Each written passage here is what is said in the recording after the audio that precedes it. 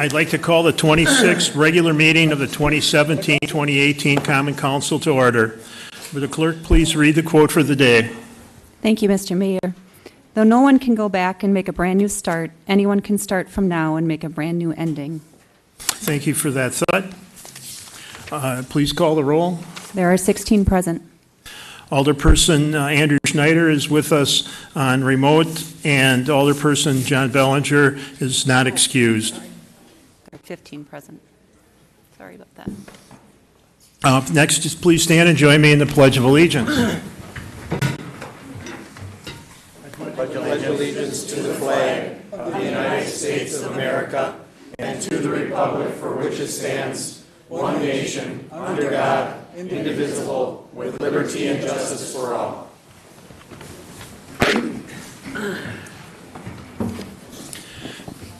Next item on the agenda is approval of the minutes from our last common council meeting. Alderperson Wolf, Thank you, Mayor. I make a motion to approve.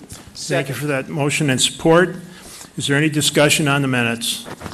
Seeing none, all those in favor, please signify by saying aye. Aye. Opposed? Motion passes. Next, we'll go on to public forum. I'll turn it over to the city clerk. Thank you. We have five this evening. The first one is John Dolson. Hello, Hi, can you state your name and address for me, please? Jonathan Dolson, 409 New York Avenue. Thank you. You'll have five minutes. Thank you. We have a lot of resources in our community, like the Weill Center and New City Green Space downtown, that bring the community together. And the more we can invest in and create those kinds of spaces in our area, the better. It brings more life and excitement to the community and gives people a sense of ownership in their community spaces. Gina, age 34. Sheboygan has a great entertainment venue, uh, but they aren't large enough to bring in the more popular acts. People are willing to go to Milwaukee or even Chicago to see their favorite bands or shows in standing room only venues, and they make a night or weekend of it. It would be great to take that weekend of money and time spent elsewhere and keep it local. Brad, 32. Growing up in Sheboygan, the Armory has always held strong, happy memories for my family and me. The thought of demolishing the building is quite depressing. I believe the proposal to turn the Armory into a community and civic center is a wonderful, well-thought-out idea. We will be, we will be able to keep the history of the building, provide a space for community to gather, and add life to the lakefront, all while generating revenue. It's the best, best of both worlds for our community. Olivia, age 32. The Armory is a major historical piece of Sheboygan. Although today it is unused and vacant, through many years, it brought our community together through its wonderful events. I find it important to revitalize the building and use it to its full potential. By turning the Armory into a community and civic center, we are allowing Sheboygan as a whole to come together again, as well as providing our visitors and newcomers a place where they can feel a part of our community. Let's not forget that it sits in our beautiful lakefront and will not go unseen or unused. Gracia, age 26. Tearing down a statement of what Sheboygan used to be for apartments in no way strengthens our community. We need to have places where we can once again build our community instead of just adding more apartments on the Armory site. Jason, age 28. The Armory project ties Sheboygan's past with the future. The Armory is an iconic building that has meant a great deal to generations of Sheboyganites. This project adds 40 apartments and preserves the building while providing a community center for entertainment and innovation that will make Sheboygan more attractive for millennials. It's a win-win. Kyle, 25. We have an opportunity to accentuate Sheboygan as a destination while also preserving an historic building. People who would travel for conferences, shows, etc., need places to eat, shop, and lodge. I think this space would add to already successful businesses. Janine, 26. Why not build up a community center or venue for events that will attract people and grow our local businesses here? We could do bigger events, trade shows, job fairs. The sky is the limit of opportunity. Brian, 28. The Armory is a staple of our community. No matter how much disrepair it may be in at the current time, this is a group of community members gung ho on saving it. It'd be a shame to overlook their passion and drive. They also aren't the first group to voice this opinion, which should tell you how important this is. Sheboygan does not have a good history of preserving historical sites, and this is a great big one that will actually benefit the community, not just sit there. You don't know that something won't work unless you give it a try. Bailey, 28. You can always build apartments.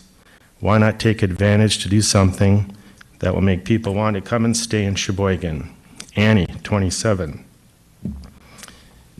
There are countless uh, quotes like this from the millennials. Many of them don't like being called millennials. The ages 25 to 40, if we want them to stay, we need to give them something to do. Thank you for your time. Thank you. Joanne Scribner.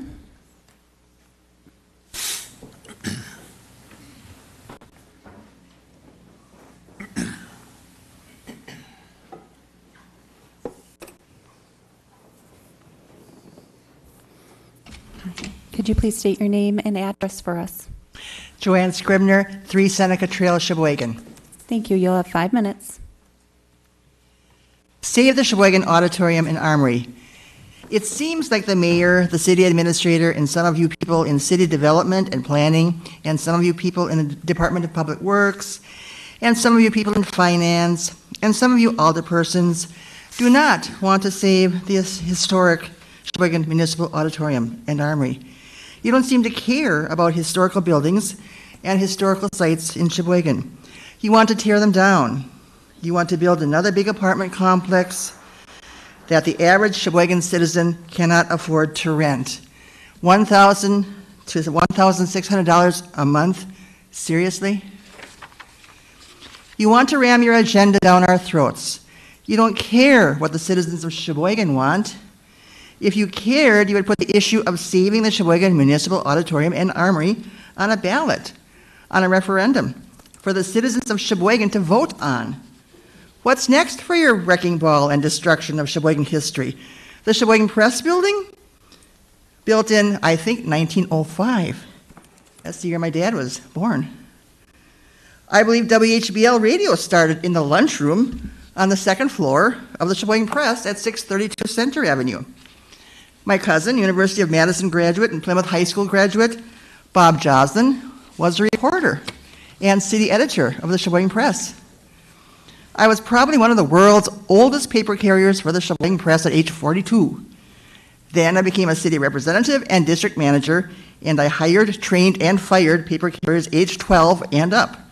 I had some excellent 12 year old paper carriers for the Sheboygan Press who are outstanding adults today.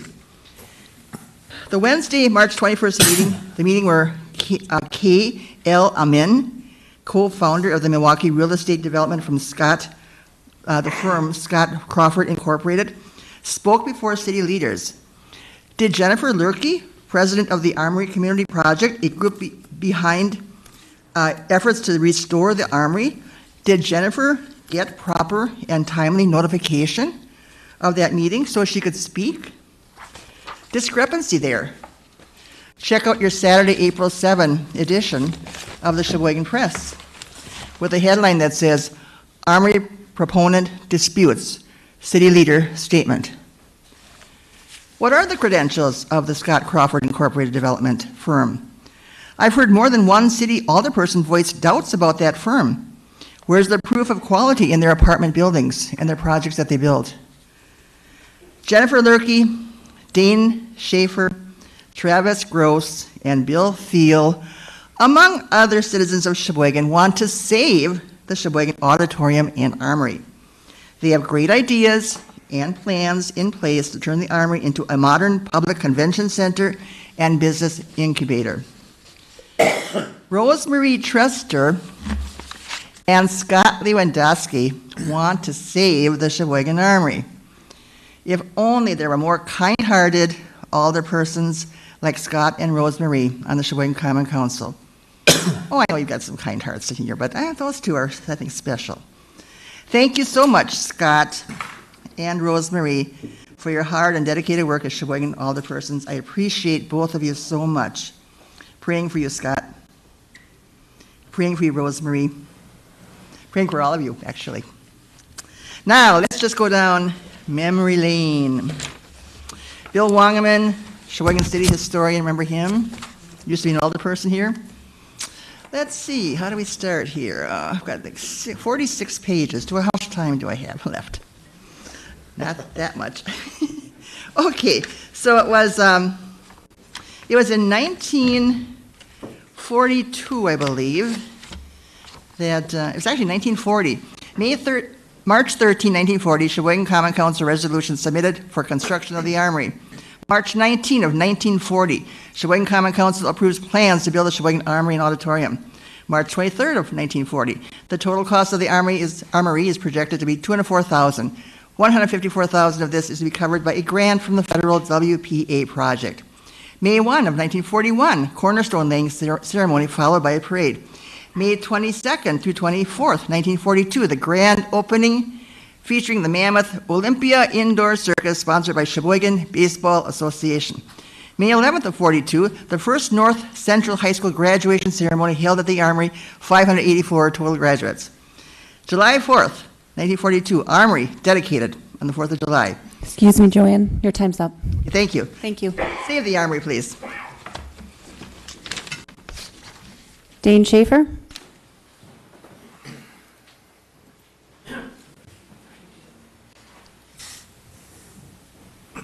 State your name and address for me, please. Dane Schaefer, 3728 South 13th Street. Thank you. You'll have five minutes. I started my first business, a hookah bar, at the age of 21. At that time, very few people in this area knew what that was, and less thought there was any market for it. To start it, I took a $20,000 SBA loan. For approval, the lender understandably required my father co-sign. I'll never forget one detail of that process. One day, the branch manager said to my father, "Tell your kid, tell your kid we'll give him the money, but when he fails, just remember that you're on the hook for it." I will always believe that person is an unprofessional jerk, but I don't fault him for being skeptical. Yet the bank had protected itself from my potential failure, and I received the loan. Three years later, my business was nearly debt-free, and my original lease was up. With my new bank, I took 70000 in loans to purchase and renovate a building that had sat unused and in disrepair for years. The Epicure Lounge still operates profitably out of that location at 1116 Michigan Avenue and will celebrate 12 years in business in September.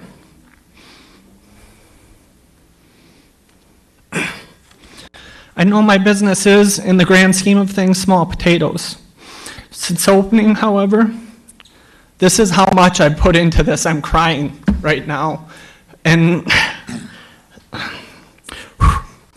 I know my business is, in the grand scheme of things, small potatoes. Since opening, however, it has brought a little more culture to our city and offered something that has made many young adults a little happier to live here and even employed some of them. It has paid sales, property, payroll, and excise taxes. It's hired local contractors and bought goods and supplies from area vendors and cleaned up a vacant eyesore on Michigan Avenue. If the original lender had decided that despite being protected from my failure, they couldn't grant the loan because they knew I was going to fail, none of it would have been possible. For that, I have respect for the lender. It would be very easy to predict that something isn't viable and then confirm the prediction by denying the other party the ability to prove themselves. The developer agreement is your co-signature, with many opportunities for the city to reclaim the property should we fail to meet the negotiated milestones. In this case, however, the potential return on investment is far greater than the interest that lender earned. The city will realize taxes from the development of the lot behind the building, our two commercial rentals, and from our organization's $10,000 annual pilot or payment in lieu of taxes. There will be sales taxes from events, rentals, and commercial leaseholders. The $5.9 million renovation will also be a great boost for the local economy. The positive impact the Armory will have on the community is invaluable. Sheboygan employers have struggled recruiting and retaining members of the largest generation in the workforce, millennials. The most perplexing part watching the city try to find a solution to this dilemma is often whose ideas are considered valid and whose aren't. What we are offering is a giant leap towards making this a more appealing place for this demographic to call home. Besides young professionals and young families, the Armory and its programming will be accessible and appealing to residents and visitors of all ages and backgrounds. We are offering a place that will maintain the lively community we have during summer year-round. Okay, I can make it. Throughout this process, I feel the experience of the members of our organization has often been overlooked. Besides the Epicure Lounge, my wife and I own and lease a commercial property in Sheboygan. While my parents have recently allowed me to spend an absurd amount of time, of their time on this project, I have continued to work for them full-time at Legendaries. During this project, I was a producer for 10 of Charlie Berens' sold-out comedy shows throughout the state, including those at the Weill Center. I am the current chair of one of Sheboygan Press's people or groups of 2017 Sheboygan Soup, which among other things, maybe not, which among other things has been working hard to plan next week Monday's event at Three Sheeps. I'm a founding member of Reboot Sheboygan and have continued working with the group to refurbish computers for local nonprofits and people in need. Most importantly, I am a husband and a father of two beautiful boys one of which who was born only days, uh, days after this whole thing started. There are six other people on our board that have unique but similarly impressive backgrounds that have dedicated a lot to getting us to this point. We have pursued this with no benefit to us besides the fact that we believe it is the best path forward for Sheboygan. We have met and overcome every obstacle and expectation that has been placed in our way on very short timelines. I would not have put this much amount, uh, the Excuse me, amount Dave. of time and effort, money, and resources that I have while juggling everything else if I didn't believe this plan is viable. I'm asking for you to recognize that we are a group of intelligent and experienced people that have proven we deserve this opportunity. We're offering our resources and risking our reputations to make Sheboygan a more vibrant community and only asking for the opportunity to do so. Thank you. Thank you.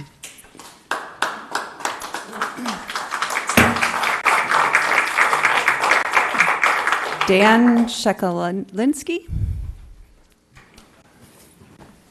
How'd I do? Can you state your name and address for me, please? Sure. Dane Checolinski, 3217 West Apache. You'll have five minutes. Thank you. I want to thank all of you for all the support the city has given Sheboygan in economic development. What got me personally excited about saving the Armory is the sheer size and potential of the building as an events venue.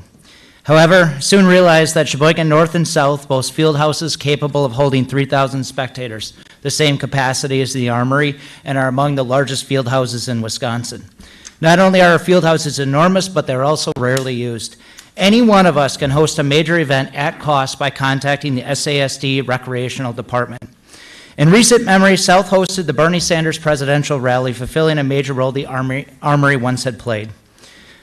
School district administrators have consistently stated that public and social events are of a high priority and will bump other activities, save a sport competition.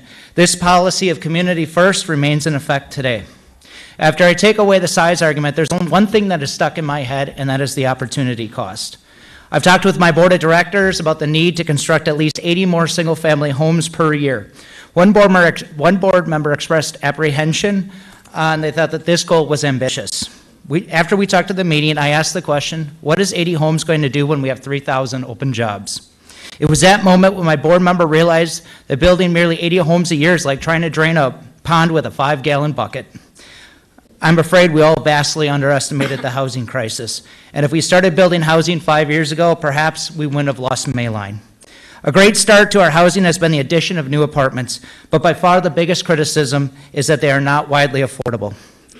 Only the Scott Crawford proposal includes workforce housing, which ensures units are available to those at lower incomes while simultaneously subsidizing rent in a highly desirable location along Lake Michigan. In addition, no recently built apartments include three-bedroom units for families. Crawford's proposal contains several dozen rentable townhomes, kickstarting a new housing development product requested by relocating families. The financial benefits to the cities are worlds apart.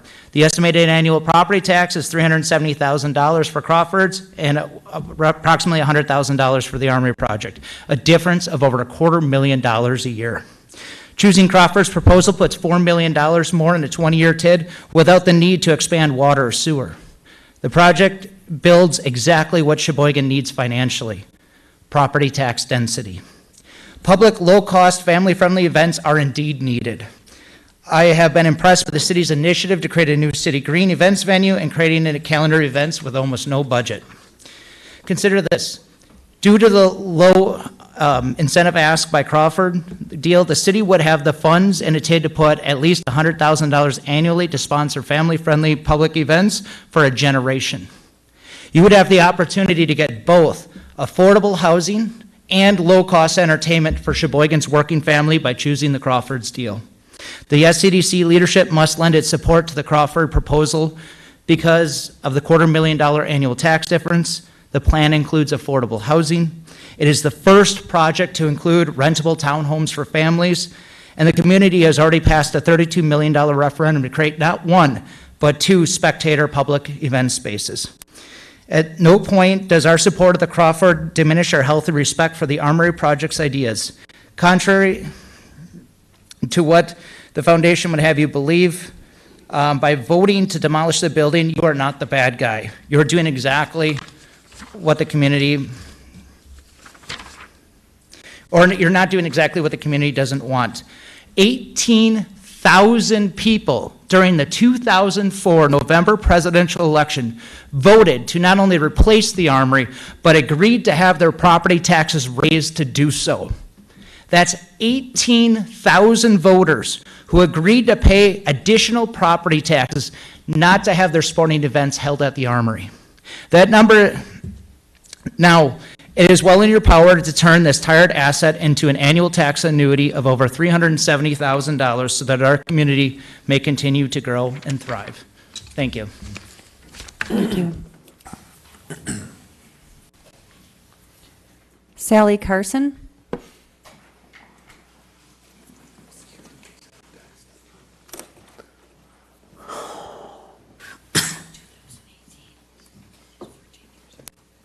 Sally Carson, 320 Lincoln Ave, Sheboygan. Thank you. You'll have five minutes. Thank you for giving us time to speak this evening. We are hopeful that the elders will take into consideration the people of Sheboygan's wishes and the benefits restoring the armory will have to the quality of life of the people of the city. Once upon a time, we heard how the building was in disrepair, which has been confirmed by a local contractor that it's built like a brick shit house and isn't as bad as we've been told. Every time the elders say that the building is in disrepair, it hurts our cause immensely. If we can rehab the Weill Center, we can rehab the Armory. The Armory project has found a solution for each problem the council has put in front of us. Some elders had concerns about our business plan, and hopefully we've addressed those concerns. Our business plan is sound, thought out, and shows that we, what we intend. It is up to us to make it a reality. Focus on what we can bring to the table in terms of the quality of life in Sheboygan. So, what does that look like for young professionals that we want to bring to our community? They are the learners and the innovators. They want well rounded life with entertainment and opportunity. They want nearby options so they don't have to increase their carbon footprint, evidenced by the addition of bike paths around the city these past few years. They want a place where they can support their community and the people in it. We have an opportunity to create that space for them. I want to take a minute to talk about one idea that didn't make it to the business plan because of timing reasons. Larger maker fairs take place in cities like Chicago and New York. In between these larger maker fairs, smaller cities host mini maker fairs. There's three tiers of mini maker fairs small, medium, and large. We would be able to ho- host the, larger of the maker fairs and the armory and bring, bring makers from Green Bay, Milwaukee, Chicago. That's 2,500 to 6,000 that would come to Sheboygan and increase our revenue. We have growing maker movement in the community. Why not make it that much better by hosting it at the armory? Another item that did get into the business plan that I'd like to talk about are craft fairs.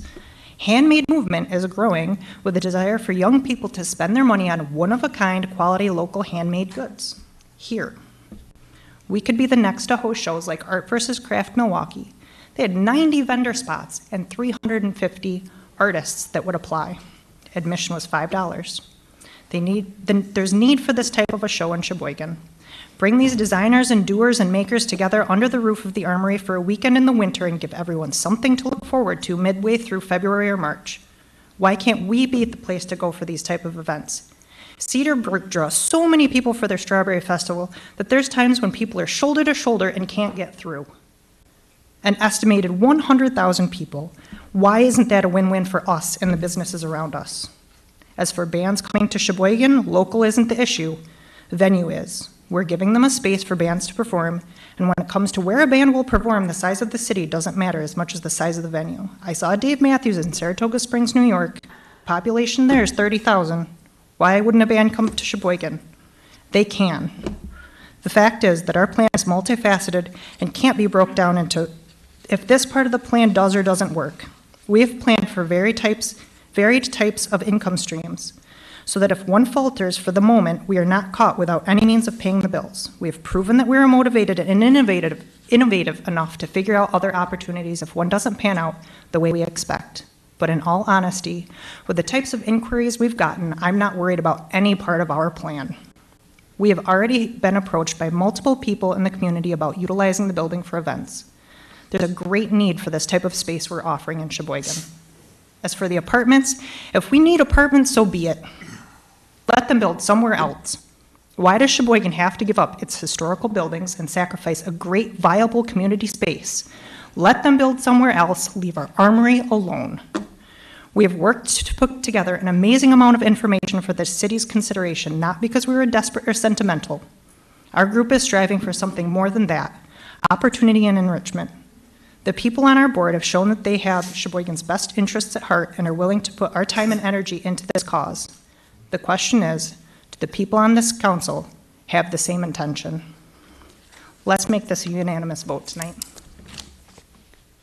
Thank you. That's it for this evening. Thank you very much. Next, we'll go on to our presentations. So we've made arrangements uh, to offer both Scott Crawford and the Armory Community 1.5, Project. Your Honor. The mayor confirmation. There's a confirmation. Oh, okay, I'm sorry. 1.5. Back up. 1.5 is confirmation of mayor's appointments. City Attorney. There is one appointment. Uh, The mayor hereby submits the following appointment for your consideration. Andy Ross to be considered for appointment to the Board of Review to fill the unexpired term of Pete Fullerton, whose term expires April 25, 2021. Alderperson Wolf. Thank you, Mayor. I make a motion to confirm. Second. Thank you for that motion and support. All those in favor of the confirmation, please signify by saying aye. Aye. Opposed? Motion passes. Next, we'll go on to presentations. We've made arrangements for both Scott Crawford and the Armory Project, Community Project. They have 15 minutes each to give us a, a background and presentation of their proposals. Uh, Scott Crawford will begin.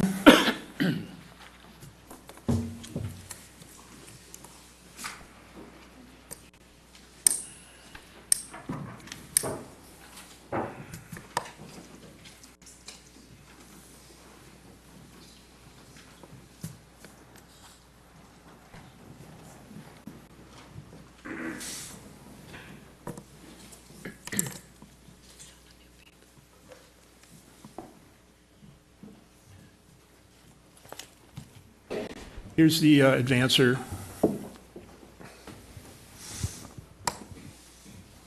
Thank you very much, and you'll have 15 minutes. Uh, good evening, everyone. Once again, my name is Q Elamine, and I'm here with Scott Crawford Incorporated, uh, presenting our proposal uh, for the redevelopment of the Armory site. So a lot of people say, why the Armory site? What's the attraction? Uh, it's threefold. One is, of course, the location. We all know that its proximity to the harbor and also Lake Michigan makes it a prime location for anyone to want to live at. The second is economic growth.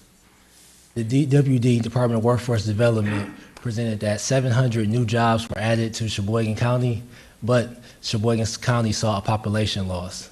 So how do we attract and also retain the people who want to live and work in Sheboygan? And the third is a world-class city. I've been traveling to Sheboygan for two years uh, personally, and I love all the amenities that are here, along with the art museum, the, of course, the bathrooms that are in there. Then you also have uh, up at Kohler, uh, and you just have a lot of great amenities. So how do we build housing that supports uh, those amenities? So again, we're going to kind of address uh, some key points tonight, and I'm going to bring up uh, the team of people that I'm working with on the project to also explain uh, their roles in the process. I also wanted to uh, present an idea that we're working on. I want to let you guys know that it has never been my focus or aim to do anything that the city of Sheboygan did not want. When I first looked at this site two years ago, the, the feeling of the community was to keep the site.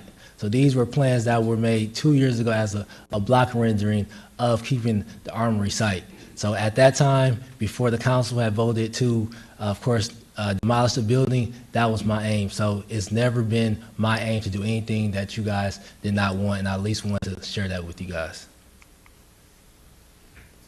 You raise the microphone a little bit, please? Oh, yeah, I'm sorry. Is this better? So for my project, uh, what we're looking to do is to create 122 apartment units, 110 of those which are apartments, and then 12 of those which are townhome units. We do have a mix of one, two, and three bedroom units. And in there, we will have some affordable housing, and we will also have housing that is regular uh, market rate housing, which the market will allow. And on the board, you can see the range of uh, rents between the affordable housing and also the market rate housing.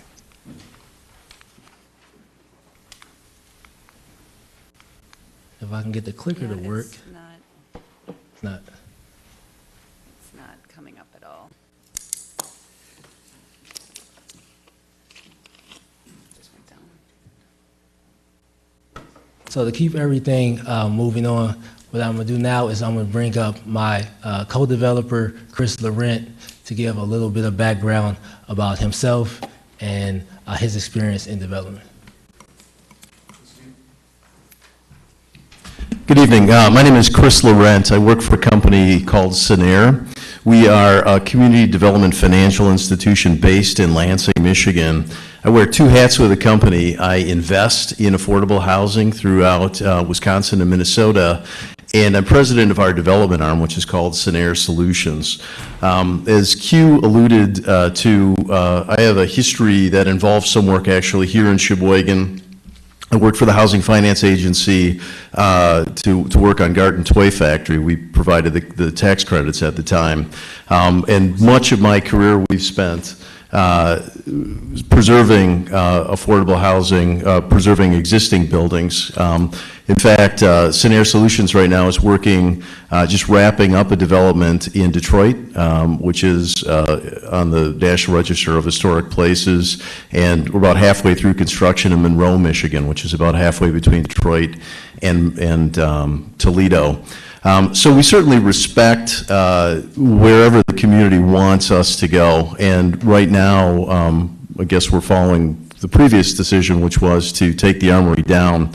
From a broad brush perspective, we think it's a great uh, development. Uh, I think um, folks have, have asked about Q's background, and um, he and I met about two years ago, he uh, was a student in a class that I teach called ACRE, uh, which is uh, Associates in Commercial Real Estate, and I was um, really, uh, I guess, impressed with his presence and ability to um, bring good teams together, and he's done that uh, our architectural team led by Mark Ernst at Engberg Anderson.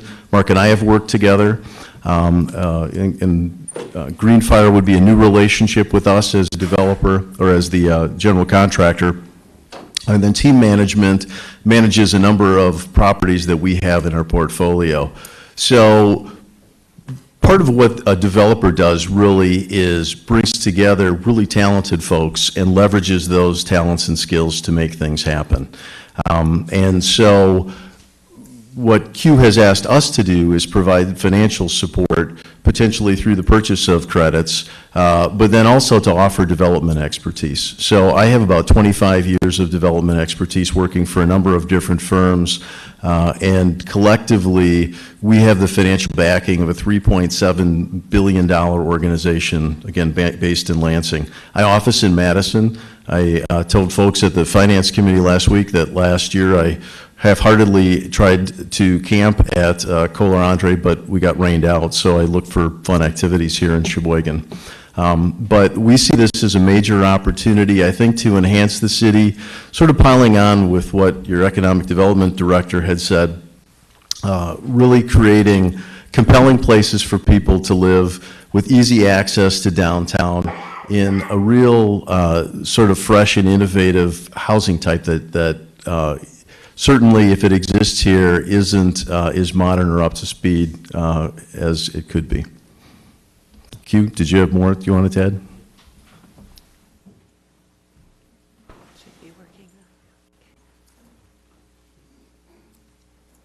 So I really just want to point out uh, one more item as I go through. I think it froze again. As I go through uh, the process, but I really wanted to give a profile, which you have been seeing, of a person that would lived in the affordable housing unit on the site. And I looked up a couple different jobs, and one of them was an engineering technician at Aerotech, who would make uh, $18 an hour. So that person, if they had a wife and also uh, a small child, would be able to live in an affordable housing uh, unit, which would be about $1,000 a month for them and, the, and their small child. So these are workforce units for people uh, who make moderate incomes. So I really want to point that out. And another thing, uh, in conclusion, I want to say is that we will be providing a large uh, property tax.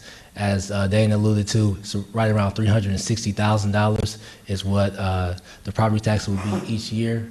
So it will be a good financial uh, boost uh, to the, the, the city of Sheboygan and uh, also the county. And I'm sorry you couldn't see the presentation in its entirety. And so I guess if we can't take, uh, are you doing questions? No, there's no questions No allowed. Okay.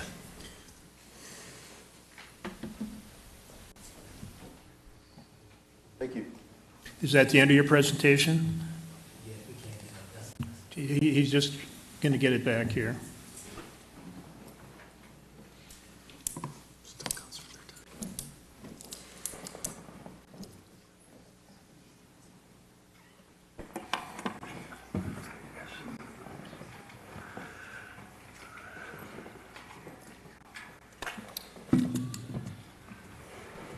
Okay.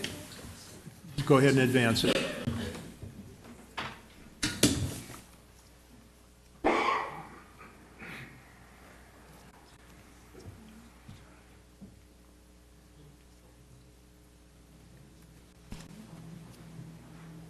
So again, I really want to call Mark Ernst up if we have a, a couple, a couple minutes uh, to speak about the design of the building. Sure. Could you go back one slide? Because I just want to introduce myself first. Uh, Mark Ernst, I'm the president of uh, Engberg Anderson Architects. Uh, We have um, designed more housing downtown in Milwaukee than any other firm over the last 10, 15 years, and it's been, uh, it's really a pleasure um, and uh, an honor to work with Q. Uh, I'll just say, Q and I went to South Africa two years ago as part of a delegation. Milwaukee has a sister city in South Africa, so we, I've got to know him pretty well, and I think he's a rising star in the community.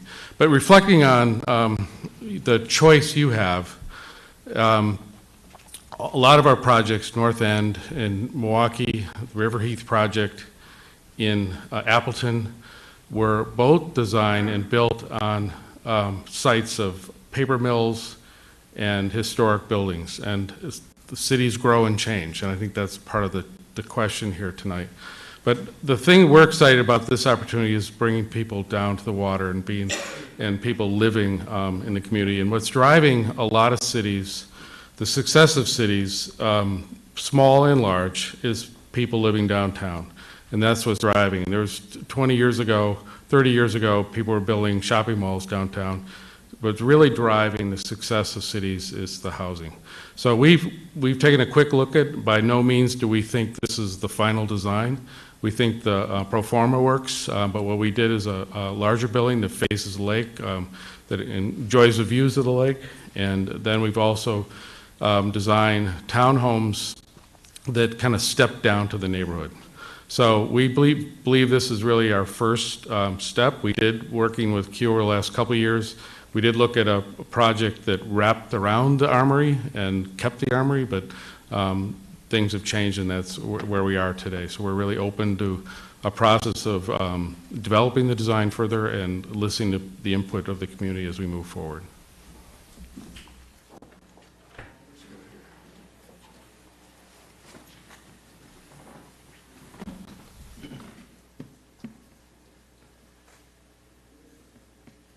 And as we go, go through, uh, Greenfire will be the contractor on the project.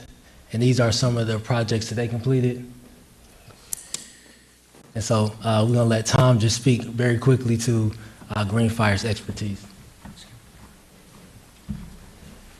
Thank you, Q. Uh, My name is Tom Heinrich. I'm with Greenfire Management Services. We're a construction management firm out of Milwaukee, Wisconsin.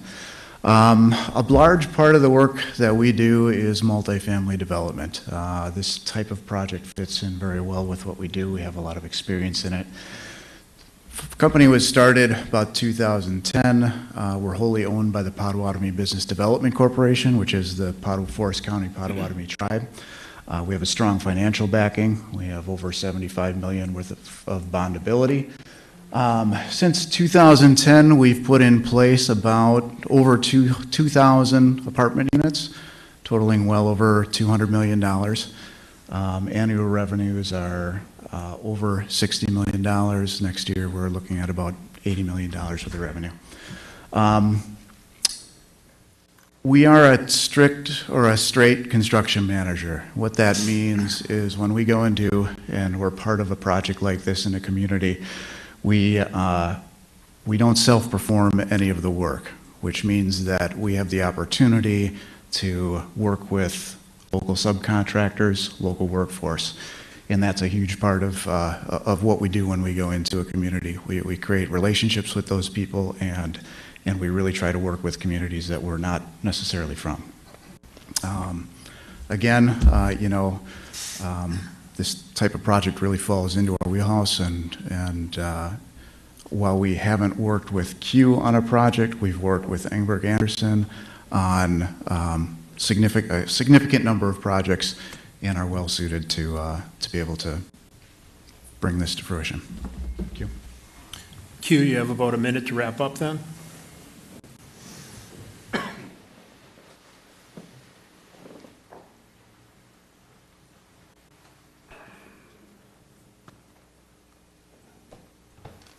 So in conclusion, I would like to uh, lastly just thank you guys again for the opportunity to present um, our proposal.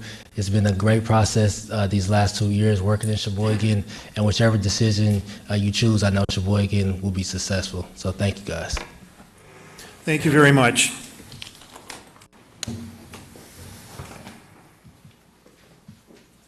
Next, we'll call up the Armory Community Project.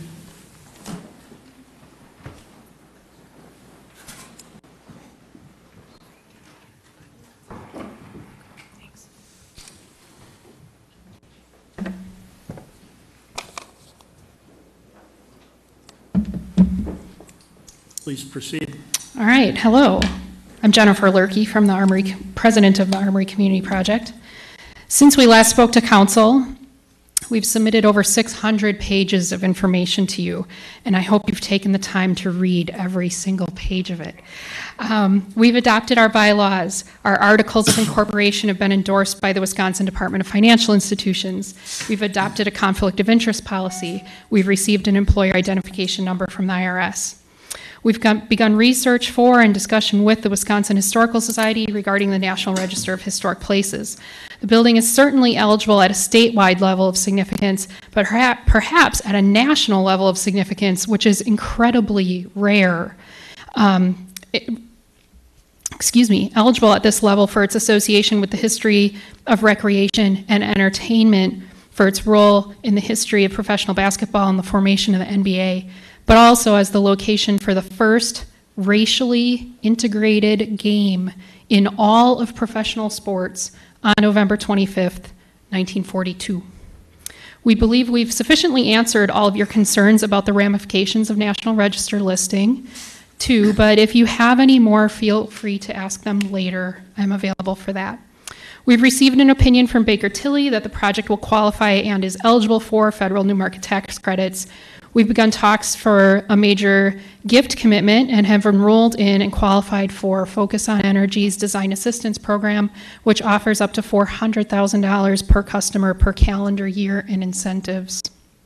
We have obtained letters from three financial institutions who are interested in purchasing or brokering our 4.6 million in historic and new market tax credits. We've fleshed out our business plan and are happy with the staff's assessment that the income, expenses, and programming appear to be solid. An adjunct professor of nonprofit management at Lakeland University has also reviewed our plan, and we appear to be on the right track. If anything, we've been told that many of our expense assumptions are a bit too high. We've had meetings with dozens and dozens of people. We have two experienced restaurateurs that are interested in the cafe, two experienced restaurateurs who are interested in the pub. We've talked to local caterers about the kitchen. We've talked to concert promoters, organizations that wish to have conferences there, crafters and makers who are interested in participating in craft shows and maker markets. We've talked to several executive directors of local nonprofits about salaries and wages and makeup of staff.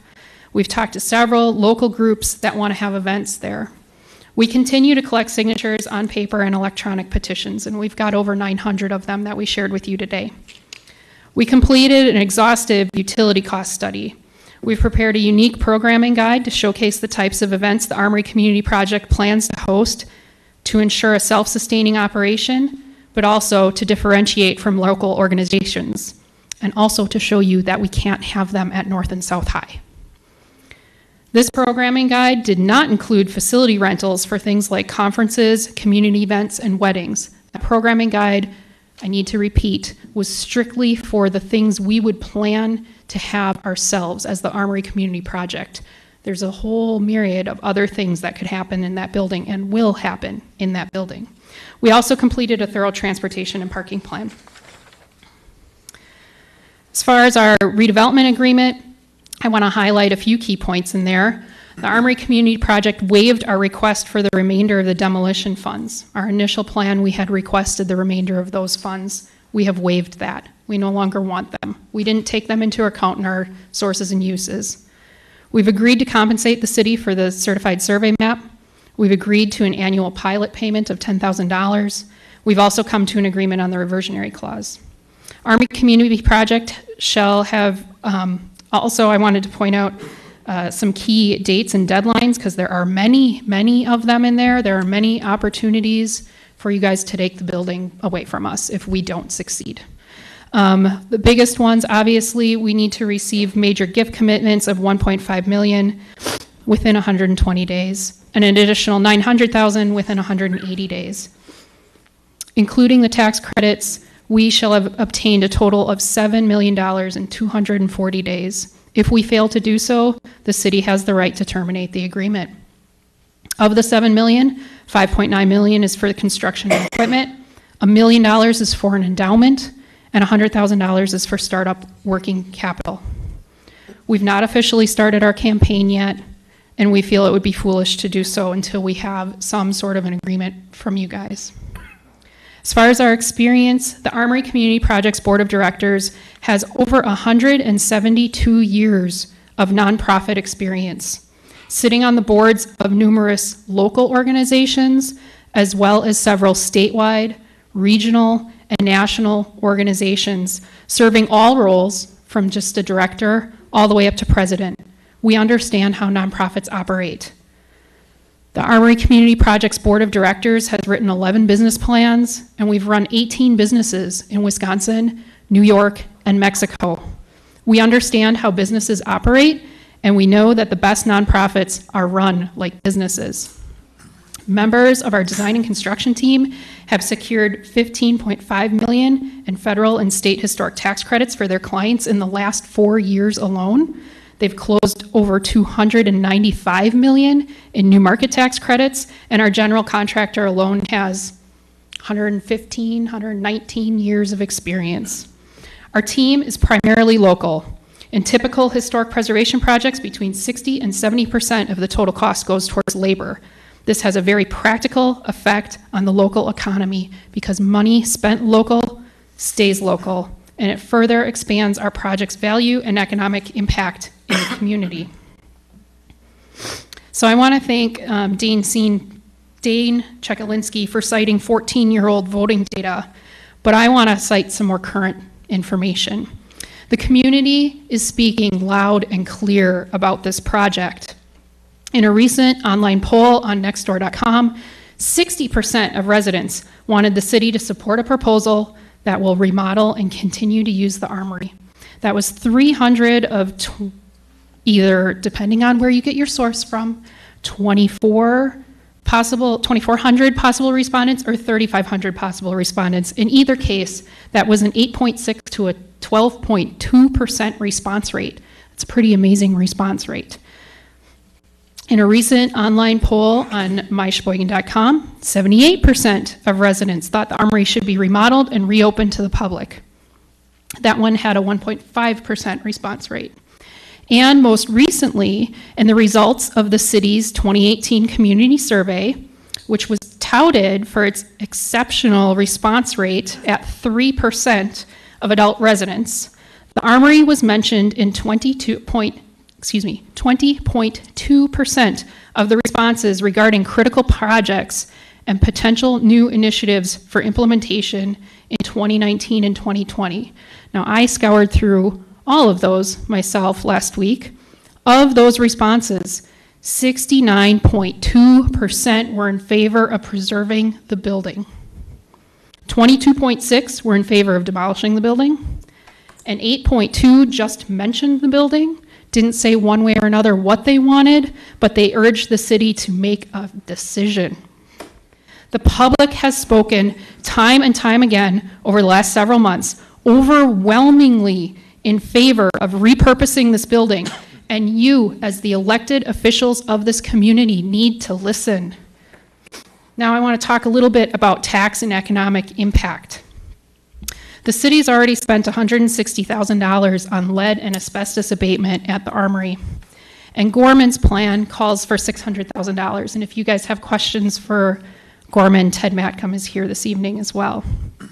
Um, Gorman's plan calls for 600,000 in TIF for a total investment by the city of $760,000. This is a low-cost public investment by the city that will spur $12.5 million in private investment.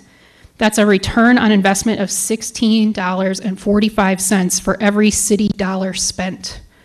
The other plan before you tonight, with more demolition costs and more TIF incentives, will only return $10.48 back to the city for every dollar spent. Now, what about other impacts? What is the per year impact on our local economy for our project? Well, let's take a look at 40,000 out of town visitors per year at the building, which we believe is a conservative estimate, estimate. And these are just the out of towners.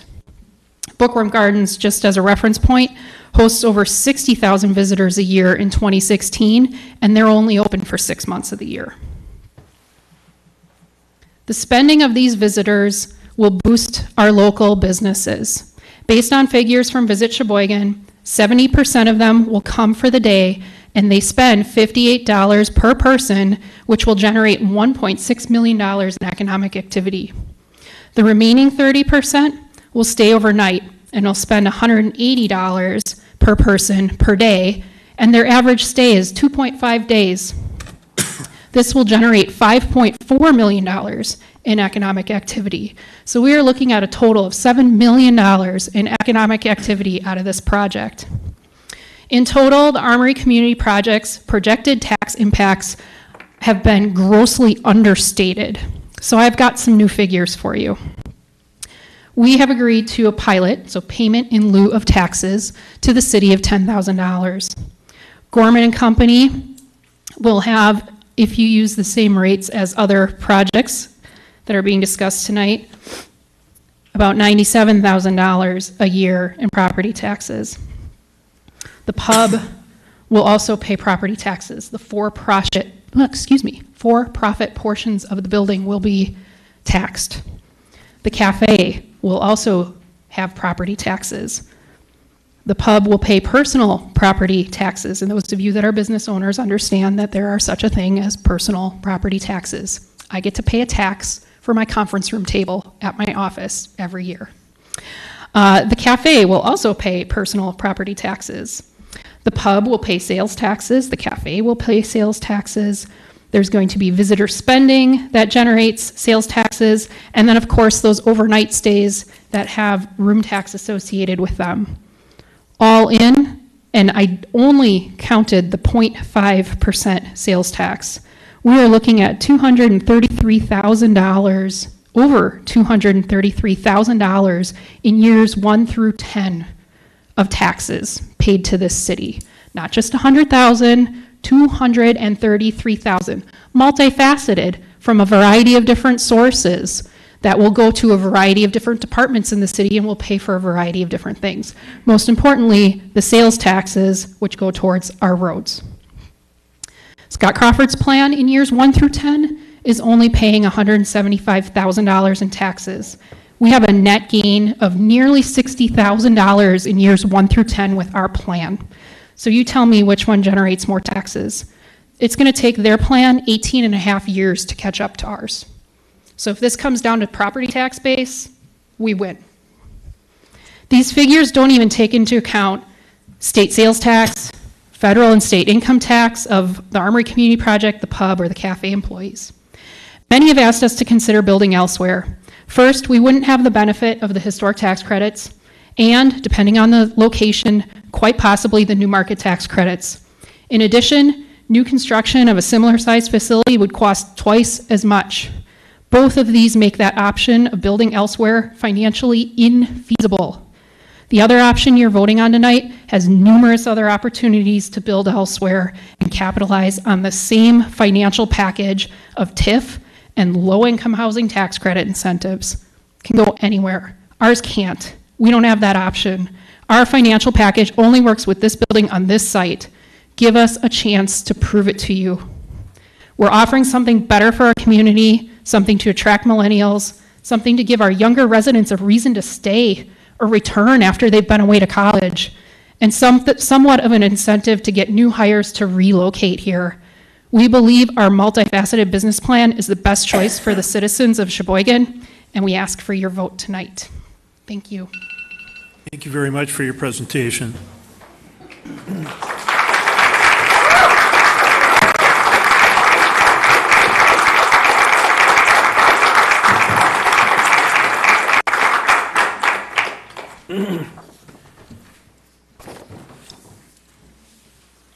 Next is mayor's announcements. Uh, We've just completed a historic election, one in which uh, our council is shifting from uh, 16 alderpersons down to 10. And for the first time, in I'm sure half a century or more, we've had the entire council up for reelection at the same time in order to orchestrate this change. And unfortunately, we have to say goodbye to some people that have given a lot of service to this city. So first of all, I'd like to call up Andy Ross. Andy Ross has served for alderperson for this last year. We want to thank him for his dedicated service. He served on the Finance and Personnel Committee. Andy, thank you so much.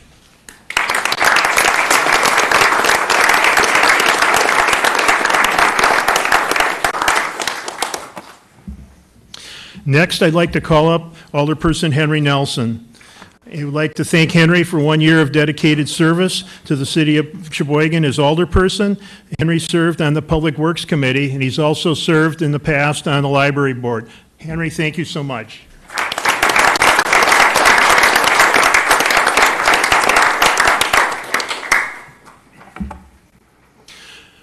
Next, I'd like to recognize Alderperson Andrew Schneider.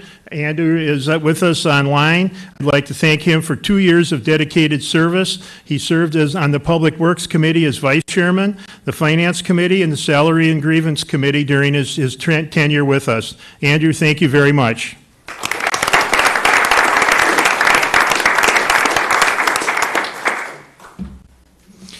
Next, I'd like to call up Alderperson Roman Drawn.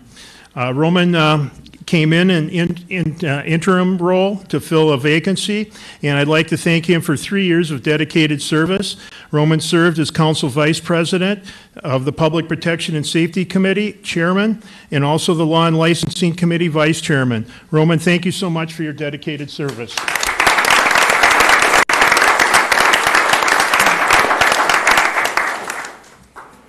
Next, I'd like to call up Alderperson Brian Bitters. Brian uh, is uh, being recognized for four years of dedicated service. During his tenure, he served on the Public Protection and Safety Committee and the Public Works Committee. Brian, thank you so much for your help and service to the city.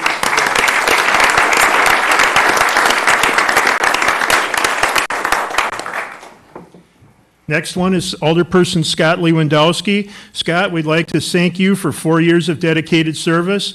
Uh, During his time, he served on the Salary and Grievances Committee, the Law and Licensing Committee, and also served as Assistant City Historian. He served from April 17th of 2012 through April 14th of 2014. He had a brief break in service and then came back in April 19th of 2016 through April 16th of 2018. Scott, thank you so very much.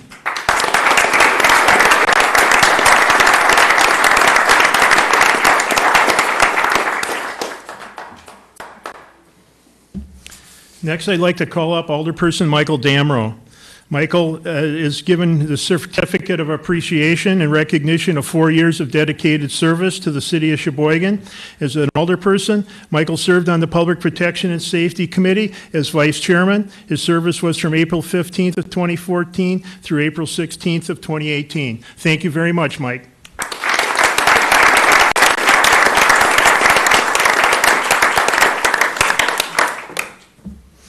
Next, I'd like to call up Alderperson Susan Holshu. Susan is being honored for six years of dedicated service to the city of Sheboygan. During this time, she served in the Law and Licensing Committee, most recently as chairman, the Public Protection and Safety Committee as vice chairman, and also the Public Safety Committee. That's from April 17th of 2012 through April 16th of 2018. Susan, thank you so very much for your service.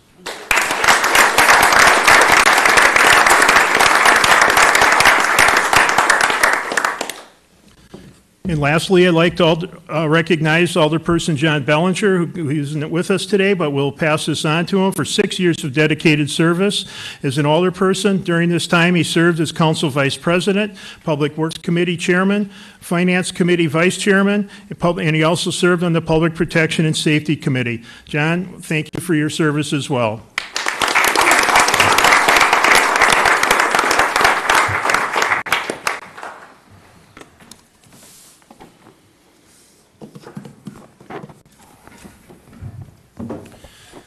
Next item on the agenda is a public hearing. It's item 2.1, hearing number 17 of 1718 for the proposed assessments for water lateral replacements on South 13th Street and Henry Street from Broadway Avenue to Mead Avenue. Is there anyone wishing to be heard? Is there anyone wishing to be heard? Is there anyone wishing to be heard? Alderperson Wolf? Thank you, Mayor. I make a motion to close the hearing. Second. Thank you for that motion and support. All those in favor of closing the hearing, please signify by saying aye. Aye. Opposed?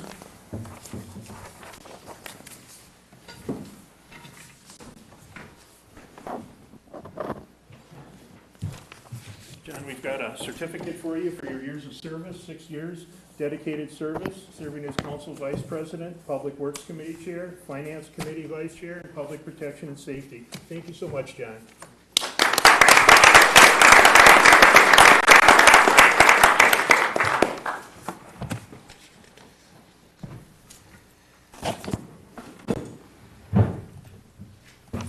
Next, we'll move on to the consent agenda. That'll include items 3.1 through 3.17. Alderperson Wolf. Thank you, Mayor. I make a motion to accept and file all ROs, accept and adopt all RCs, and pass all resolutions and ordinances. Second. Thank you for that motion and support. Is there any discussion on any of the items on the consent agenda? Seeing none, will the clerk please call the roll?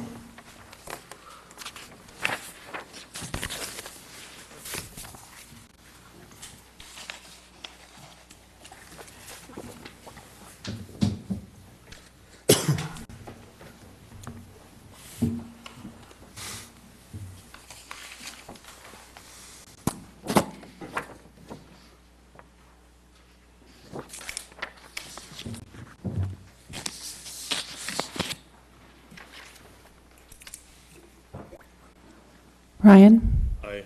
Okay, thank you.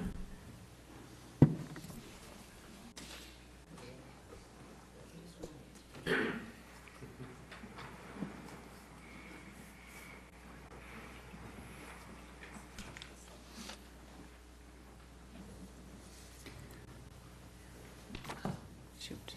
John, did you want to? It never came up. It never came up, yep. Okay.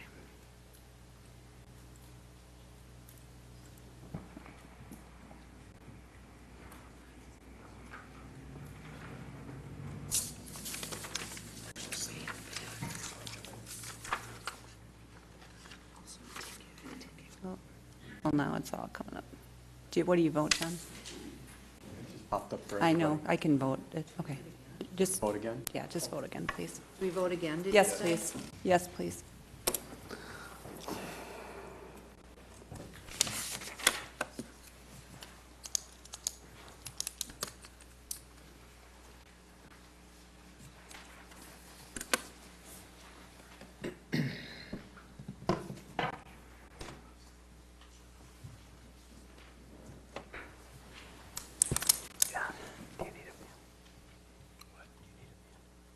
John, did you? John, what do you vote, please? It didn't come up again. What do you vote? Came up for me. It did? Yeah, It's and I saying voted aye. 15, okay. All right, so 16 ayes. Motion passes. Next, we'll move on to uh, reports of officers. Items 4.1 through 4.4 will be referred to committees of the new council. Under resolutions, items 5.1 and 5.2 will be referred to the Public Works Committee of the new council. And um, under reports of committees, Alderperson Savaglio, did you have a question? Yes, I make a request to the chair to move item 6.10 before 6.9, please. Second.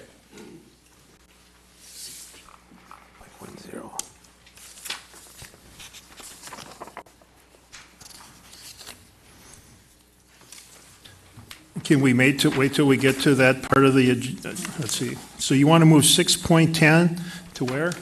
To before 6.9. Vote on the other ones first, right? No, we just uh, referred. Okay. Okay. Okay, there's been a motion to um, move 6.10. Decision on your own if you so choose. If you, if you, as the chair, say no, then you can be challenged. Uh, Well, I'm being challenged then, so we'll take a vote on the motion to move that item. Would the clerk please call the roll What are we on the voting on? change of order in the agenda? What are we voting on? This moves the Armory project ahead of the Scott Crawford project vote. Should we vote on 6.1 first? Uh, No, we're, we're, It's just, it's a procedural motion challenging the chair's uh, decision not to make the change in the agenda order as proposed. It's not, uh, it's not a substantive vote. So is it a roll vote? Um, You should do it by uh, roll call, yeah. Who, who made the second, please? I did. Thank you.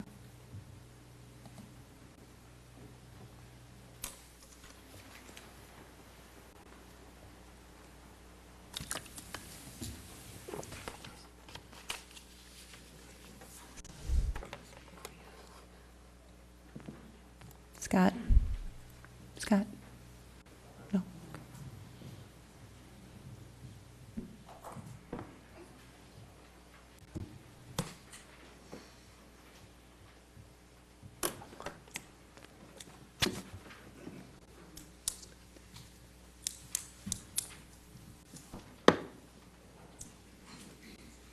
So what are we voting on, 610?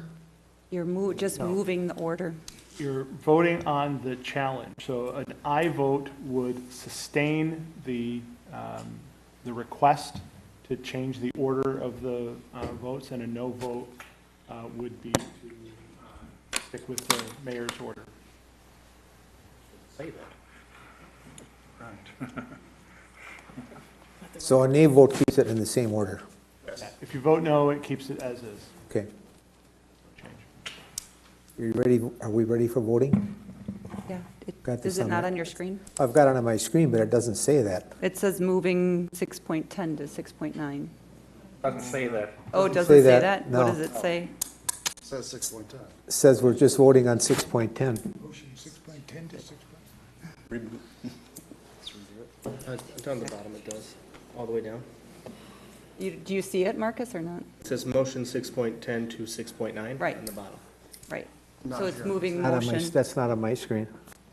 Scroll down. Is the it- little box. It says on my screen, motion to move 6.10 Oh, okay. to 6 point. Everybody No, mine- seated correctly? Mine just says it's uh, forwarding to council with no recommendation. That's as far as I can scroll down in the little box. Well, Jim, do you want to tell me your vote, or do you? Uh, wanna- I vote nay.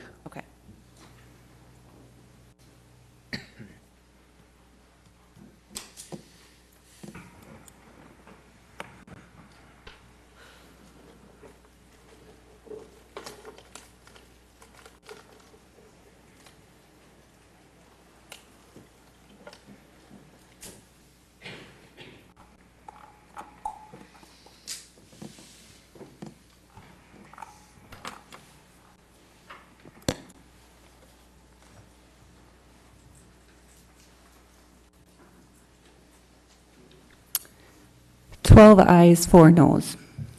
Motion passes.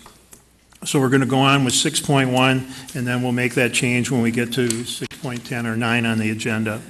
Item 6.1 is RC number 318 of 1718 by the Public Works Committee, to whom is referred Resolution Number 166 of 1718 by Alderperson Wolf submitting a preliminary resolution declaring intent to exercise police power to levy special assessments for the construction of a sidewalk on Washington Avenue from South Business Drive to 960 feet to the west and recommends passing the resolution.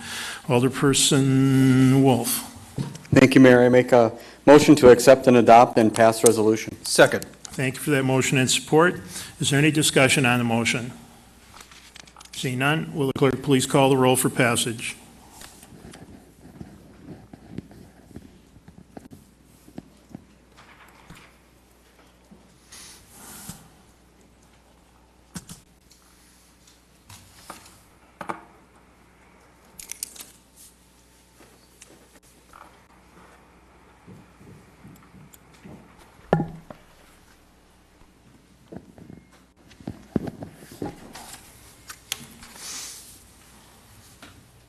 Ron? Aye. Okay.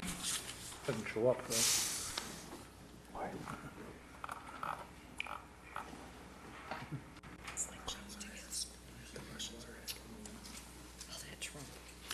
Sixteen ayes. Motion passes. Item 6.2 is RC number 319 of 1718 by the Public Works Committee, to whom is referred Resolution Number 167 of 1718 by Alderperson Wolf, authorizing the appropriate city officials to enter into a contract with Clunk Masonry LLC for the 2018 sidewalk program and the Washington Avenue sidewalk for $142,639.50 and recommends passing the resolution. Alderperson Wolf. Thank you, Mayor. I make a motion to accept and adopt and pass the resolution. Second. Thank you for that motion and support. Alderperson Bourne. Thank you, Mayor. Uh, I need to abstain on this vote. Uh, Clunk Masonry is doing a project for my wife and I this summer on our driveway, so under the circumstances, I don't feel comfortable voting on this contract, so I'm going to abstain. Thank you. Thank you for that notice. Is there any other discussion? Seeing none, will the clerk please call the roll?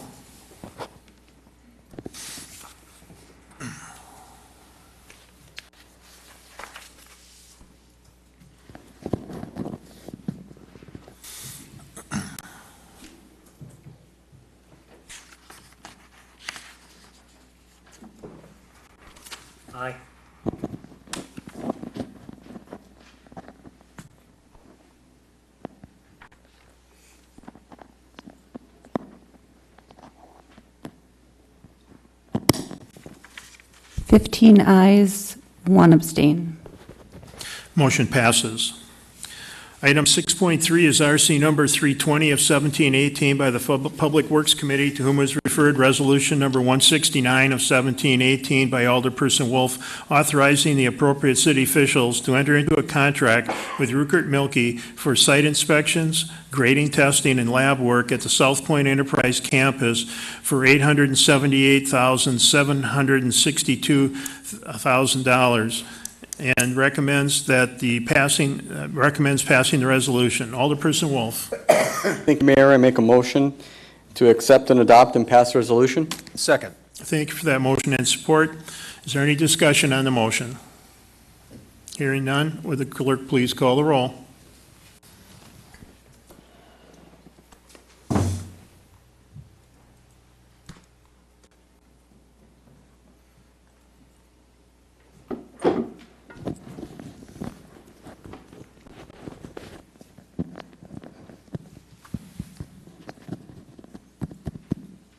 Aye.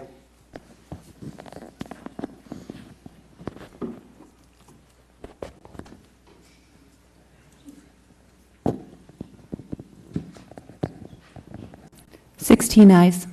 Motion passes. Item 6.4 is RC number 321 of 1718 by the Public Works Committee, to whom was referred Resolution number 170 of 1718 by Alderperson Wolf, authorizing the appropriate city officials to enter into a contract with Vinton Construction Company for the amount of $1,250,132.35, ATC transmission for the amount of $157,000, and Miller Engineers and Scientists for the amount of $4,000 for the Taylor Drive reconstruction and recommends passing the resolution. Alderperson Wolf. Thank you, Mayor. I make a motion to accept and adopt and pass the resolution. Second. Thank you for that motion and support. Is there any discussion on the motion?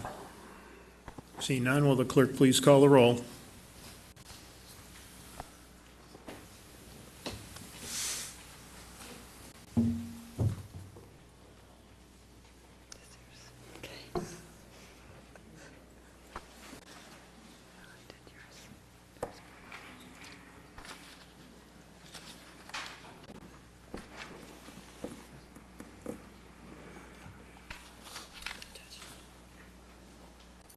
Sixteen ayes.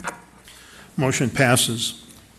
Item 6.5 is RC number 1, uh, 322 of 1718 by the Finance and Personnel Committee, was referred Resolution number 171 of 1718 by Alderpersons Donahue and Bourne, providing for the sale of general obligation promissory notes and note anticipation notes for 2018 capital projects, and recommends passing the substitute resolution.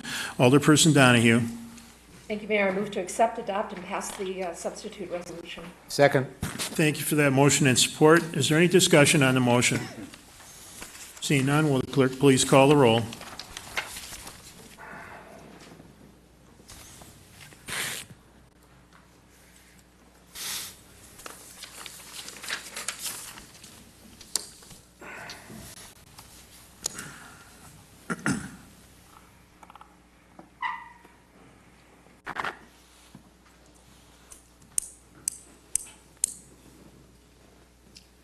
Fifteen ayes, one no.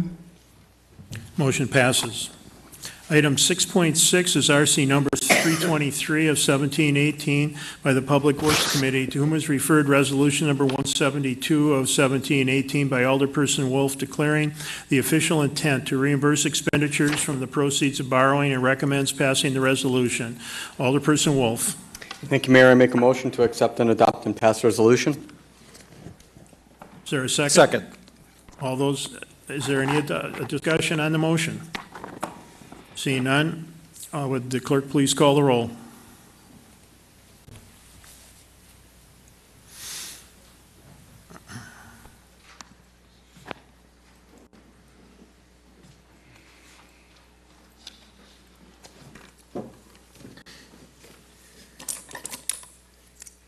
Sixteen ayes. Motion passes. Item 6.7 is RC number 324 of 1718 by Finance and Personnel Committee, to whom is referred Resolution number 176 of 1718 by Alderpersons Donahue and Boren authorizing the purchase of approximately .3 acres of land and building located in the northern portion of 1211 North 23rd Street for future use by the city and recommends passing the resolution. Alderperson Donahue? Thank you. I move to accept, adopt, and pass the resolution. On this one, I think uh, we've had some serious changes in the documents, so I think what's appropriate here is a motion to file this document because we have to clear it out at the end of the council year. And then, uh, therefore, I move to file. Second. Thank you for that motion and support. Is there any discussion?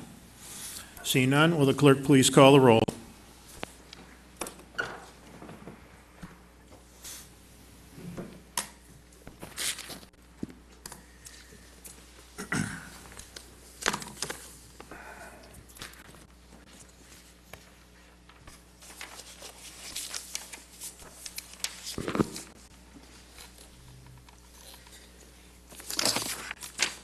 Sixteen ayes. Motion passes. Item 6.8 is RC number 325 of 1718 by Finance and Personnel. Is referred Resolution number 174 of 1718 by Alderperson Sorensen resolving that if the Common Council fails to make a decision regarding the Armory by April 16th of 2018, the City of Sheboygan shall have a citywide non-binding referendum to decide the future of the Armory and recommends filing the document. Alderperson Sorensen. Thank you, Mr. Mayor.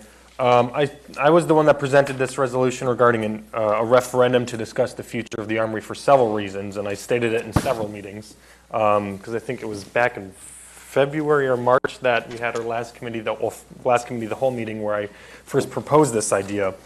Um, the, the, the origin of this really kind of came from my frustration, I think other frustrations from council members, uh, just kind of with the passing the hot potato, passing the skunk, whatever an- analogy you want to use, regarding the, the process moving forward with the armory.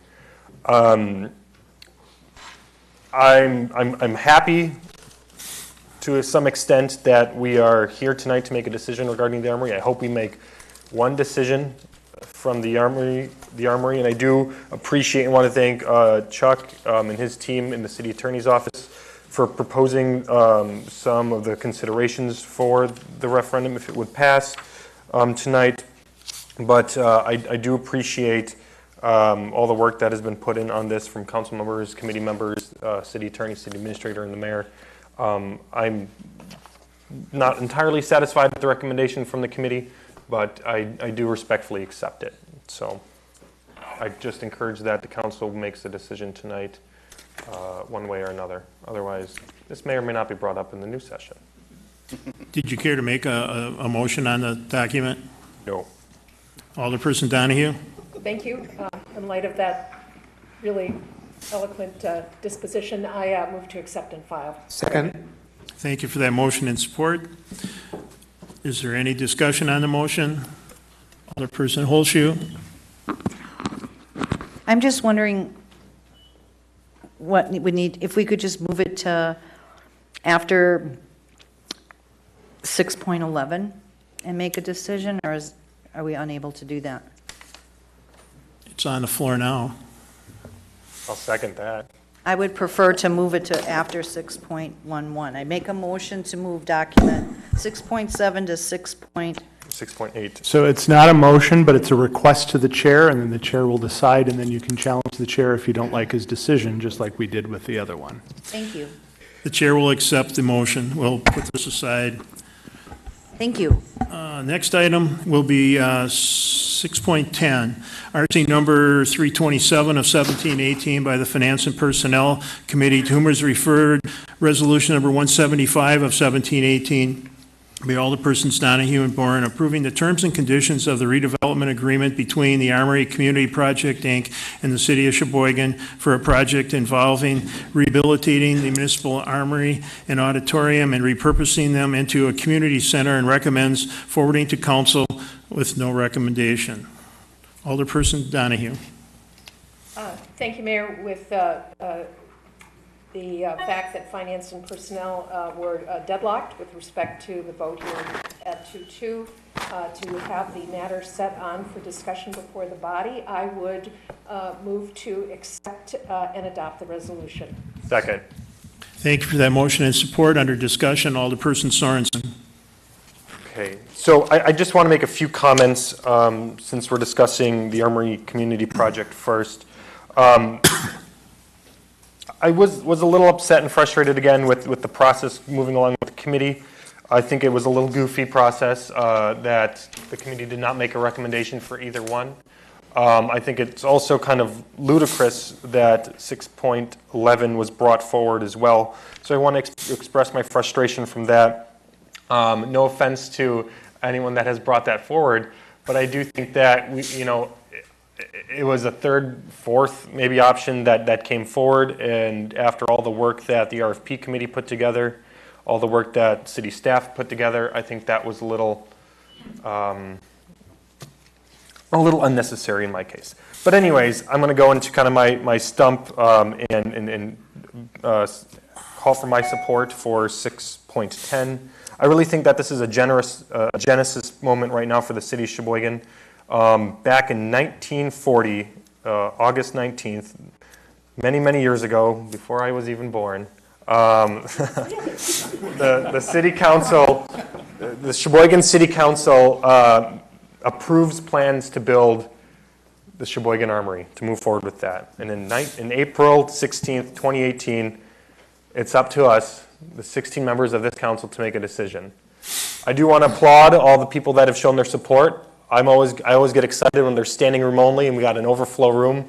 I think it really shows and it's uh, very emblematic of the dedication of the civic participation of the citizens of Sheboygan. So I want to thank everyone that has come forward, whether they're for the Armory or against the Armory. I want to thank everyone for that.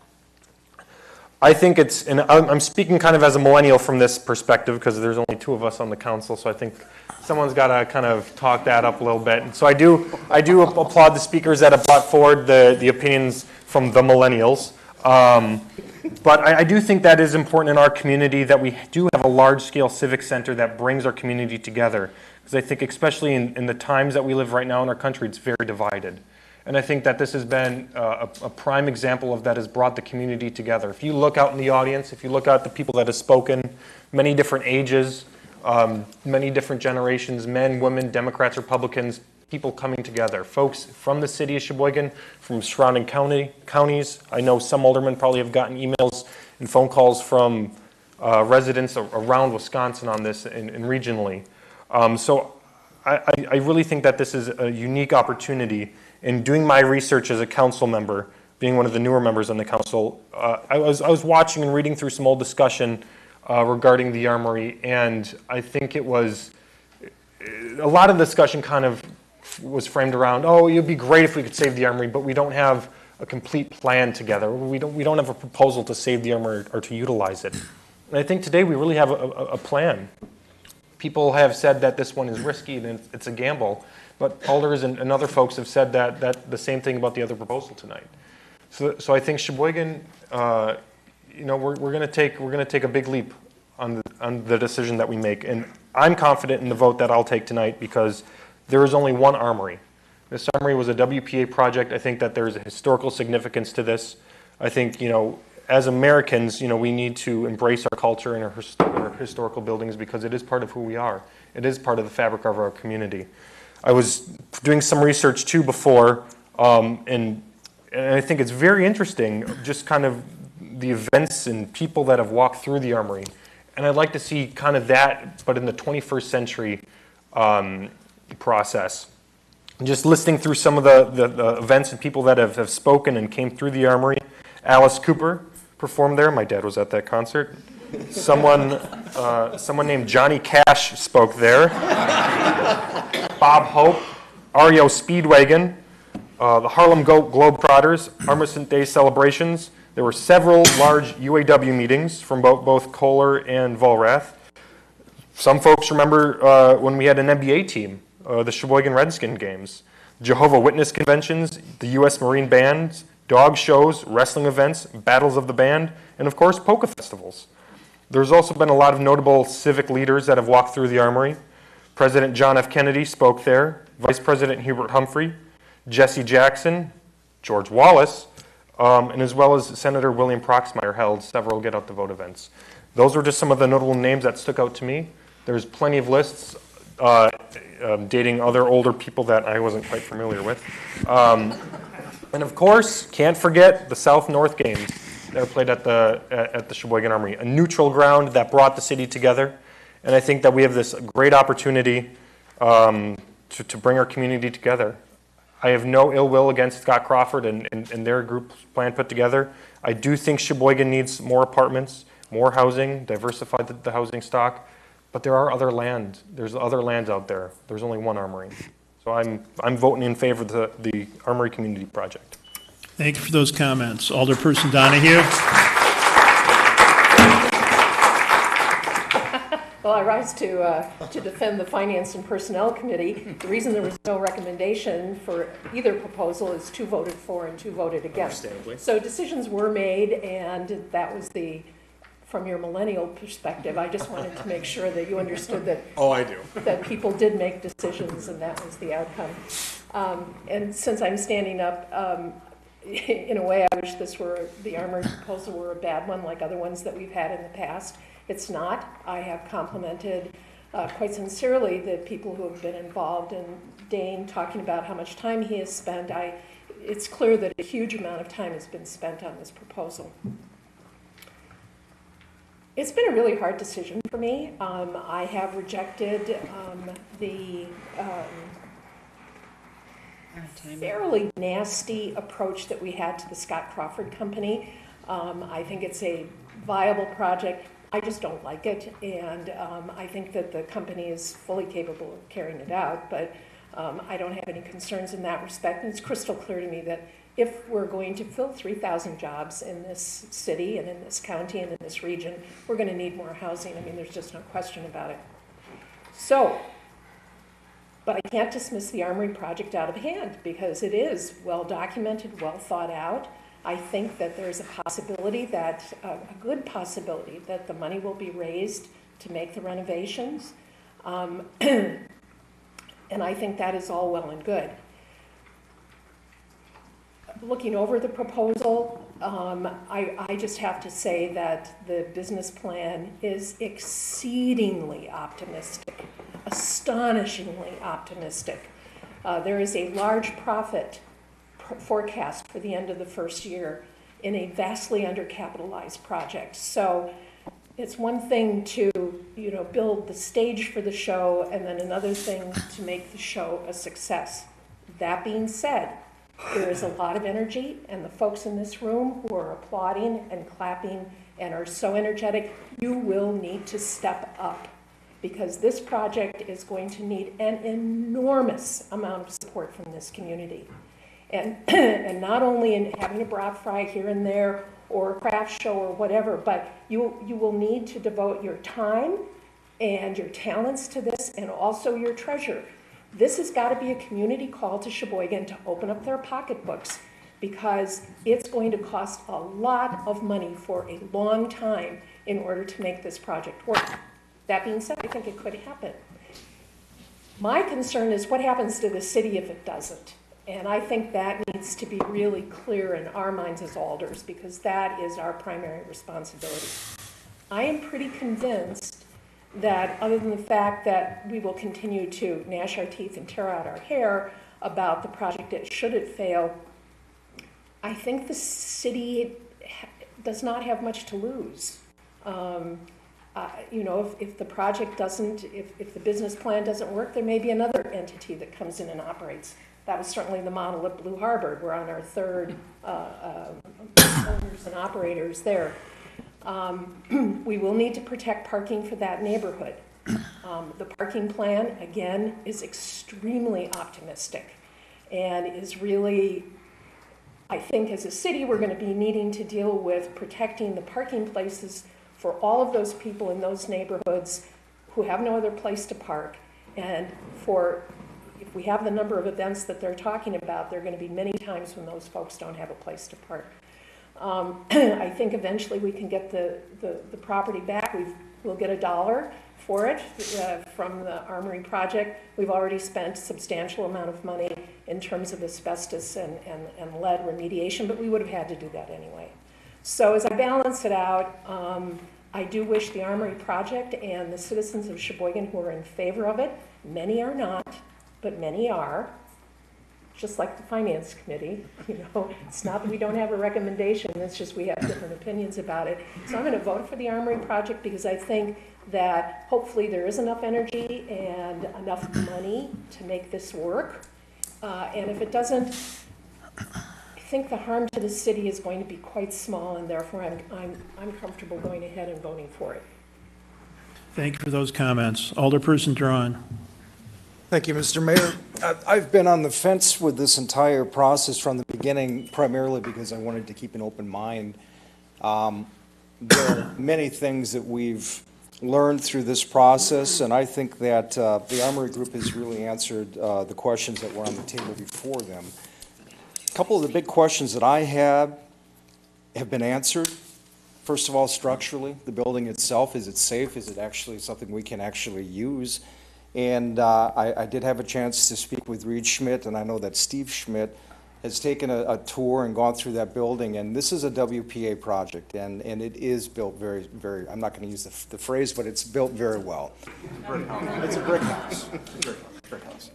And I, I started to realize that most of the things that I own tend to be things that are repurposed in some form or fashion. I have a very old house from the 1800s. I have a very old truck from I won't say when. I have an old motorcycle. I have uh, an old uh, uh, business that I purchased, and I like fixing things up and, and bringing new life to them. And I see that process, the potential in the armory. And it is not a disservice or, or anything against Scott Crawford and, and his group. I think they've done an excellent job under any other circumstances, a fantastic opportunity. But I also think that the Armory Project is, is something that can help us reconnect uh, with our past and also move things to the future. And the last thing that I'll say is the financial aspect was the one thing that was really holding me up. More on the operational side, not getting the initial funding. I know how much it costs to run a business, and I know that every time you think you're going to spend three thousand bucks, you're spending six thousand. That's just how it goes. A thousand, a hundred thousand to me didn't seem like enough to make this happen for a year. I was a little concerned about that. However, I've spoken to people that I trust on their word. I know you can't take that to the bank. There will be people that will be coming forward with finance, with support, with the passion that this community is often seen behind things of this nature. It's been so political and so difficult for people to uh, put their name into the hat. I understand that, and I wouldn't blame anybody for, for holding back until they know what's happening. So I'll be voting in favor of this, and I do want to thank everybody who's put all the time and the work and the effort in this, including the citizens. And it's awesome to see how many people have become engaged and, and process-wise, getting into what we're doing. We need more of that from our community. Thank you for those comments. Alderperson Nelson. Uh, Thank you, Mayor. Uh, Fortunately, uh, Alder Donahue has uh, expressed most of the thoughts that uh, I had concerning uh, the Armory, but in a far more eloquent manner than I probably would have, and so I, uh, that's all I have to say at this point. Thank you. Uh, Next is Alderperson Trester. I too need to speak for the people of Sheboygan and say we need to keep this armory. But there's also another aspect to this. The Armory Project people are young people and they represent the youth of our city. And perhaps giving them the opportunity to be entrepreneurs and to get this thing running and bringing the city together, the young and the old together.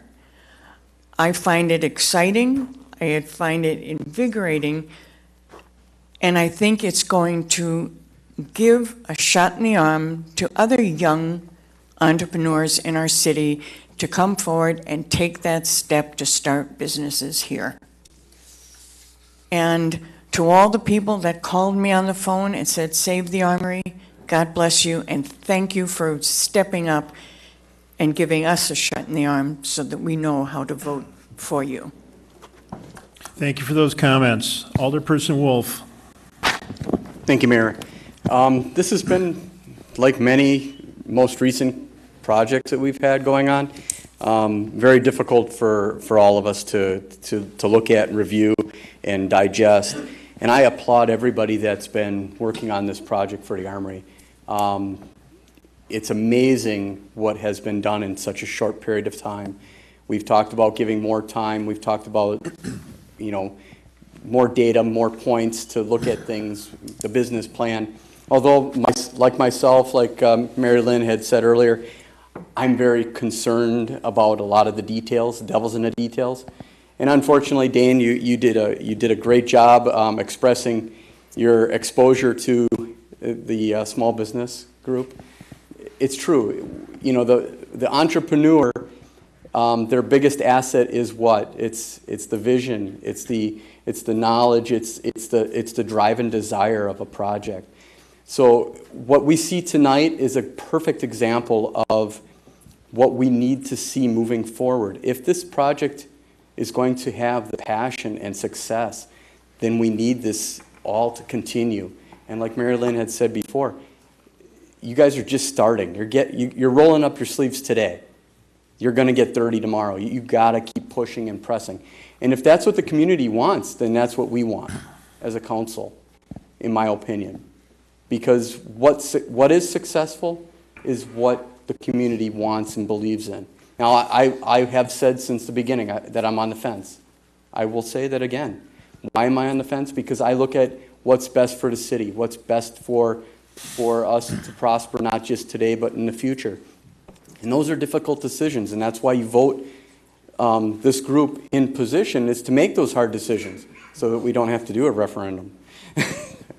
but the thing is that we continue to hear it, either for or against. And it's very difficult because I pride myself on every phone call that I get keeping a tally because that's what I'm, I'm here for. And it's been very, very difficult. You have so many people that are emotionally connected. You have so many people that um, hear about things and they just, you know, they go with the flow. And then you have those that are just, they don't want, they don't really care about the details, just get something done. Keep her moving. So, you know, the thing that we have to worry about here is what's best for the city. And what's best for the city, even though I don't necessarily agree with the numbers, and I, you know, I hope to see you guys successful, we really have to see this drive and desire that you have today and that you've had for the last months, six months. I've seen more activity in these few months than we have in years with all the other projects. We haven't seen that drive, that desire. So the only way this is going to be successful, and that's why we have, I believe, a, you know, certain pieces in place, like Mary Lynn had said, so that, you know, the only thing we're really going to lose is time. Um, I hope that you guys are successful, and I, I, you know, if this is what you guys want, then that's, that's the direction that we're going to have to look at. So thank you. Thank you for those comments. Alderperson Lewandowski. Yes, I'm in support of saving the armory. And I think that this is a good idea to fix up the armory and turn it into a community center again. And I think that if we don't do it, Sheboygan's going to need to build a community center in a few years and start from scratch. And it's going to cost a lot more money to the people of Sheboygan. And I'm glad to see that so many people of Sheboygan are behind this project. And I think it's going to be a good project and successful. Thank you for those comments. Well, the lights are all out. Alderperson Boren.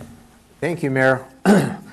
Uh, I'm one of the numbers guys on the council, uh, serving on the vice chair of the Finance and Personnel Committee. And uh, the thing that I like about the Crawford project is that of the three- $360,000 that eventually the city is going to receive, and I want to equate that into what that means for, for employees for the city of Sheboygan. Uh, With that $360,000 that we're uh, eventually going to get, that would fund five firefighter paramedics. A new firefighter paramedic in the city of Sheboygan costs $73,000, and uh, that, that assumes a family health plan. That $360,000 would also fund five police officers at $70,000 each, assuming a family medical plan. That would also fund seven DPW workers at $50,000 each, assuming a family medical plan. Our IT director at, at recent finance meetings has made a very, very good case for uh, hiring two or three more people uh, in the IT department. That $360,000 would certainly fund two and possibly three, depending on the skill level. Uh, Every time we give our city employees a cost of living increase of 2%, uh, that adds, and I might add that those are uh, merit-based increases, not everybody gets them, and the employees that get those raises certainly deserve them. But every time we give a 2% increase in pay to our employees, that adds $500,000 to our budget every year. Many of you may not be aware that state government has frozen our ability to levy property taxes except for growth for many years. So my question is, where is this money going to come from if we need more firefighter paramedics? We have a study going on right now with the fire department that may come through asking us to hire more firefighter paramedics or other positions in the fire department. We have a heroin and opioid crisis in Sheboygan right now. We may need to hire more police officers. The ones we're doing, the ones that we have now are spread very, very thin. Our DPW workers, we used to have 200 employees in the Department of Public Works. Now we have about 100. Dave Biebel and his staff are magicians for the amount of work that they have, for the amount of work that they get done. They could use more employees. So uh, I'm going to uh, I'm going to vote no on the Armory project, and it's mainly it's mainly dollars and cents for me. Uh, I think we need the $360,000 in, in additional property tax revenue, and we have to we have to be able to fund positions in the city that may come forward. And this additional property tax revenue will go a long way to funding those employees. And I know uh, some of these departments are near and dear to many of these alderpersons, and we understand the work that they're doing with very limited personnel. And if we need more, where are the dollars going to come from? Thank you. Thank you for those comments. Alderperson Rindfleisch? Thank you. I will be voting for the Armory proposal as I did in the Finance Committee meeting.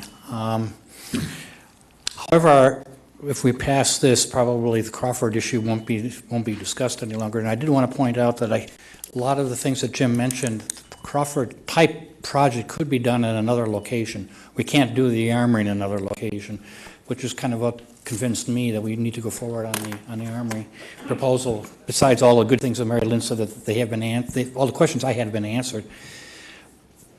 I am familiar with downtown living. My son and I rent a house, rent an apartment in downtown La Crosse, a development called Belle Square.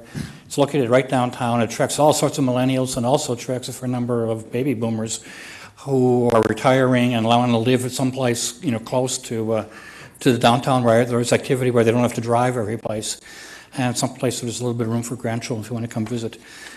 The Armory isn't exactly downtown. It's a little bit of a ways and up the hill for a lot of people, my generation at least. I think some spot for the Crawford proposal closer to 8th Street, maybe overlooking, you know, something or another would be, it would be a, a good location, or other locations that we can do that, that project can be on.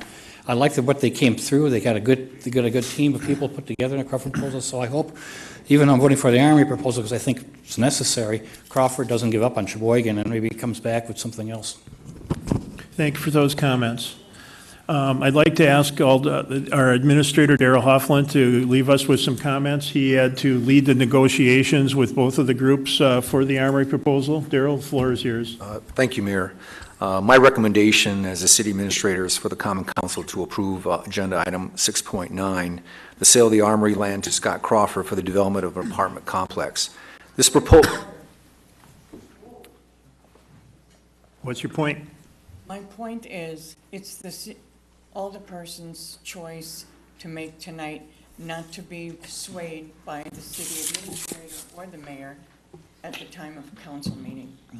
No, I'm sorry, it's the mayor who doesn't interject comments in, in the council meeting. It's okay for staff to be recognized. City Attorney? Well, M- Mr. Hoffman, uh, by ordinance, does have access to the floor. With that, would you please proceed? So I recommend approval of the sale of the Armory land to Scott Crawford for the development of an apartment complex. This proposal checks off many critical boxes for the community. One check is the development of 122 units. The community is in desperate need of additional housing, not only for existing residents, including residents looking to downsize and remain in the community, but also a new workforce that local businesses are trying to attract. Uh, This need is documented in a recent study as reported by the SCEDC and confirmed by Baker Tilly. Another check is its compatibility of land use. It is surrounded on the north and south by other multifamily developments. The attraction for many of its future residents will, of course, be the close proximity to Lake Michigan. Another check is the development of a significant taxable value. The Scott Crawford development is projected to pay almost $360,000 in annual property taxes. This is a significant contribution, not only to the city, but the other local taxing jurisdictions. Through the use of the TIDs, the city will be able to to leverage these taxes to pay for other projects, including the adjacent terminus of Pennsylvania Avenue at Lake Michigan. The city has already invested tens of millions of dollars in this section of Sheboygan. Nearby public investment is evident in the marina, Deland Park, the Riverwalk, other open spaces, the dredging of the Sheboygan River, redevelopment of South Pier, and the downtown. This investment by the city is now attracting a $24 million project on this redevelopment site. Another check is the economic impact of this project to the downtown area. The nearby downtown continues its revival, but its economic health is fragile. Not unlike many hundred-year-old downtown uh, areas, the additional customer base provided by the apartment option will increase the chances that downtown will flourish both short and long term. Potentially 298 residents, consistent with the, uh, the last census for the Scott Crawford development, will be spending money day in and day out in the adjacent downtown, riverfront, and South Pier areas. Another check of this proposal is, a- is its affordable housing component. With affordable units renting for 750 to $875 for one and two bedroom apartments respectively, this new housing development will be attract, will be attractive to the workforce of many of the local community businesses. It'll be up to the Common Council to determine their comfort with the soundness of the information that has been presented by the two finalists. Scott Crawford proposal was really relatively easy to develop. Based upon similar apartment projects, it's easy to calculate new construction cost, easy to calculate cost to operate, easy to calculate availability of tax credits, and easy to calculate how much banks or investors are willing to commit. The team that Scott Crawford put together has included a seasoned architect at Engberg Anderson, financial pa- partner at uh, Cinnaire, and construction managers at Green Fire Management Services, who have a long list of successful development and management of projects. The Scott Crawford proposal also contains a financial letter of interest from TCF Bank. As a city administrator, my advice is often based upon the likelihood of success and the need to minimize risk. Not only is the Scott Crawford proposal sound, but it checks a lot of boxes that are important to our community. Thank you. Thank you for those comments. Moving on, Alderperson Trester. I think it's been said at least more than once tonight that Scott Crawford could build in other locations in the city and not necessarily on the Armory site. We have one Armory, one opportunity to do this.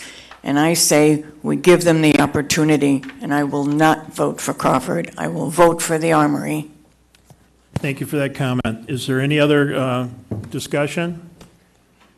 Seeing none, will the clerk please call the roll for passage?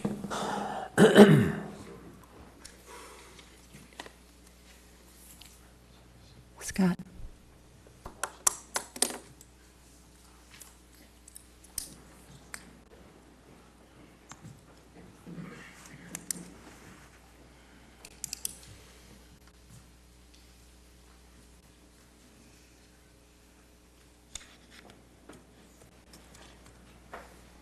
I don't have it on my screen again, Meredith. You don't, okay. I didn't come up again.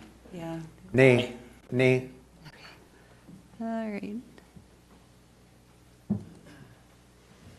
It's Just technical difficulties tonight.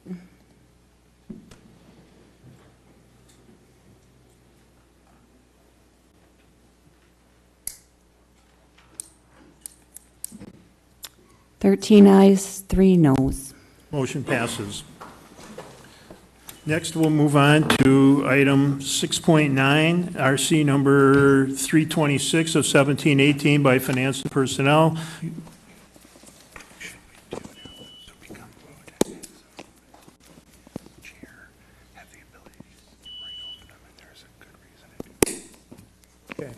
The um, city attorney has reminded me that uh, 6.9 is now moot, and uh, so I'd accept a recommendation or motion to file. Second. We have uh, Alderperson Donahue, who is the second? All right, Rindfleisch. Okay, is there any discussion on that motion? Seeing none, all those in favor, please signify by saying aye. Aye. Opposed? Nay. We're going to have to vote then. City clerk will set it up for you. Motion to file, correct? Yep.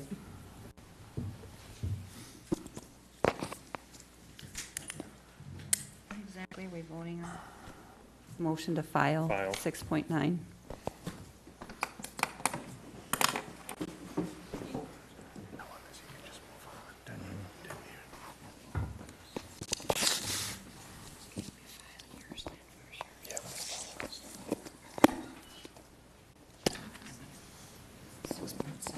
voting to file it. To file, correct. Right? Nay.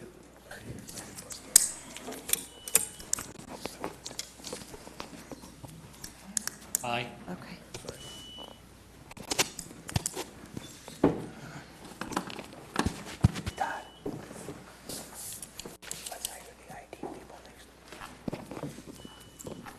Fifteen ayes, one no.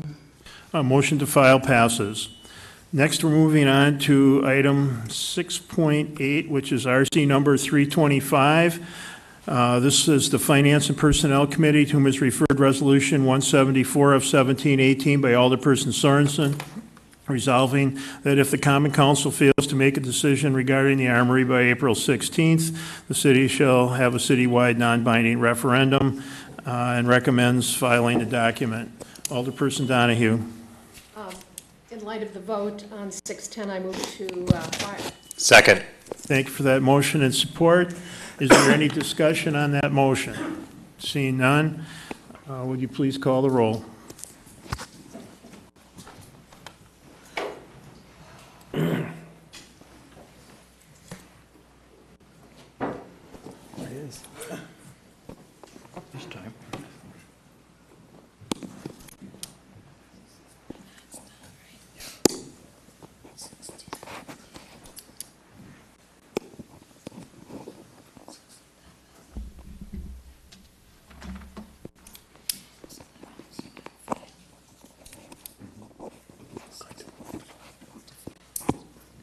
16.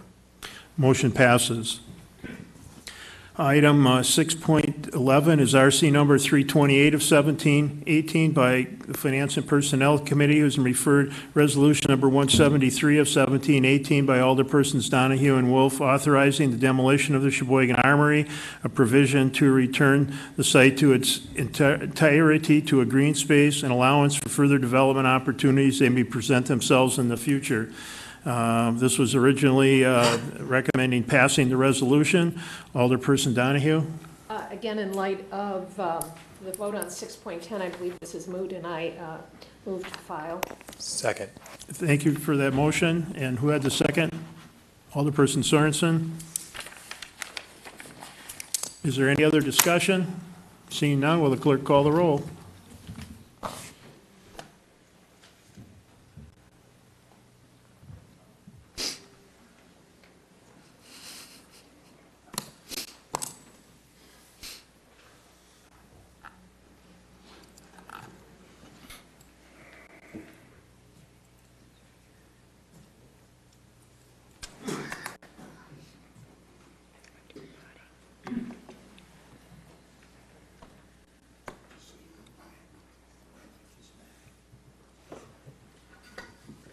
16 ayes. Motion passes.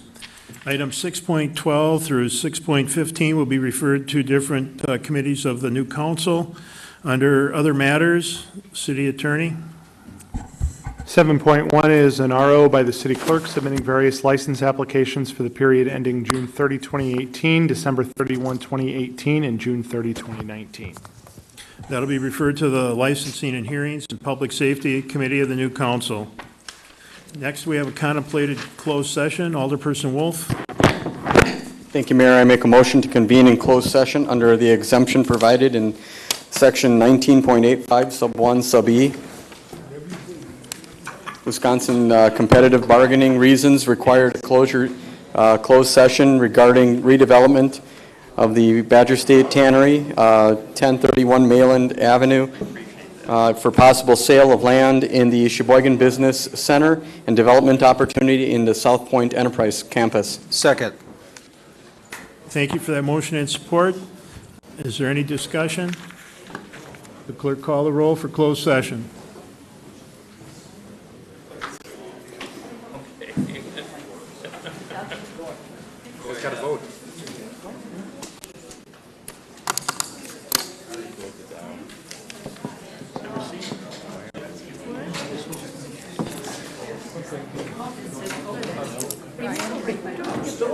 Brian? Brian, Did you vote? did you vote? Sorry? Did you vote? Never came out. Okay, what do you vote, please? What? Nay. Nay? Okay. Way to go, Joe.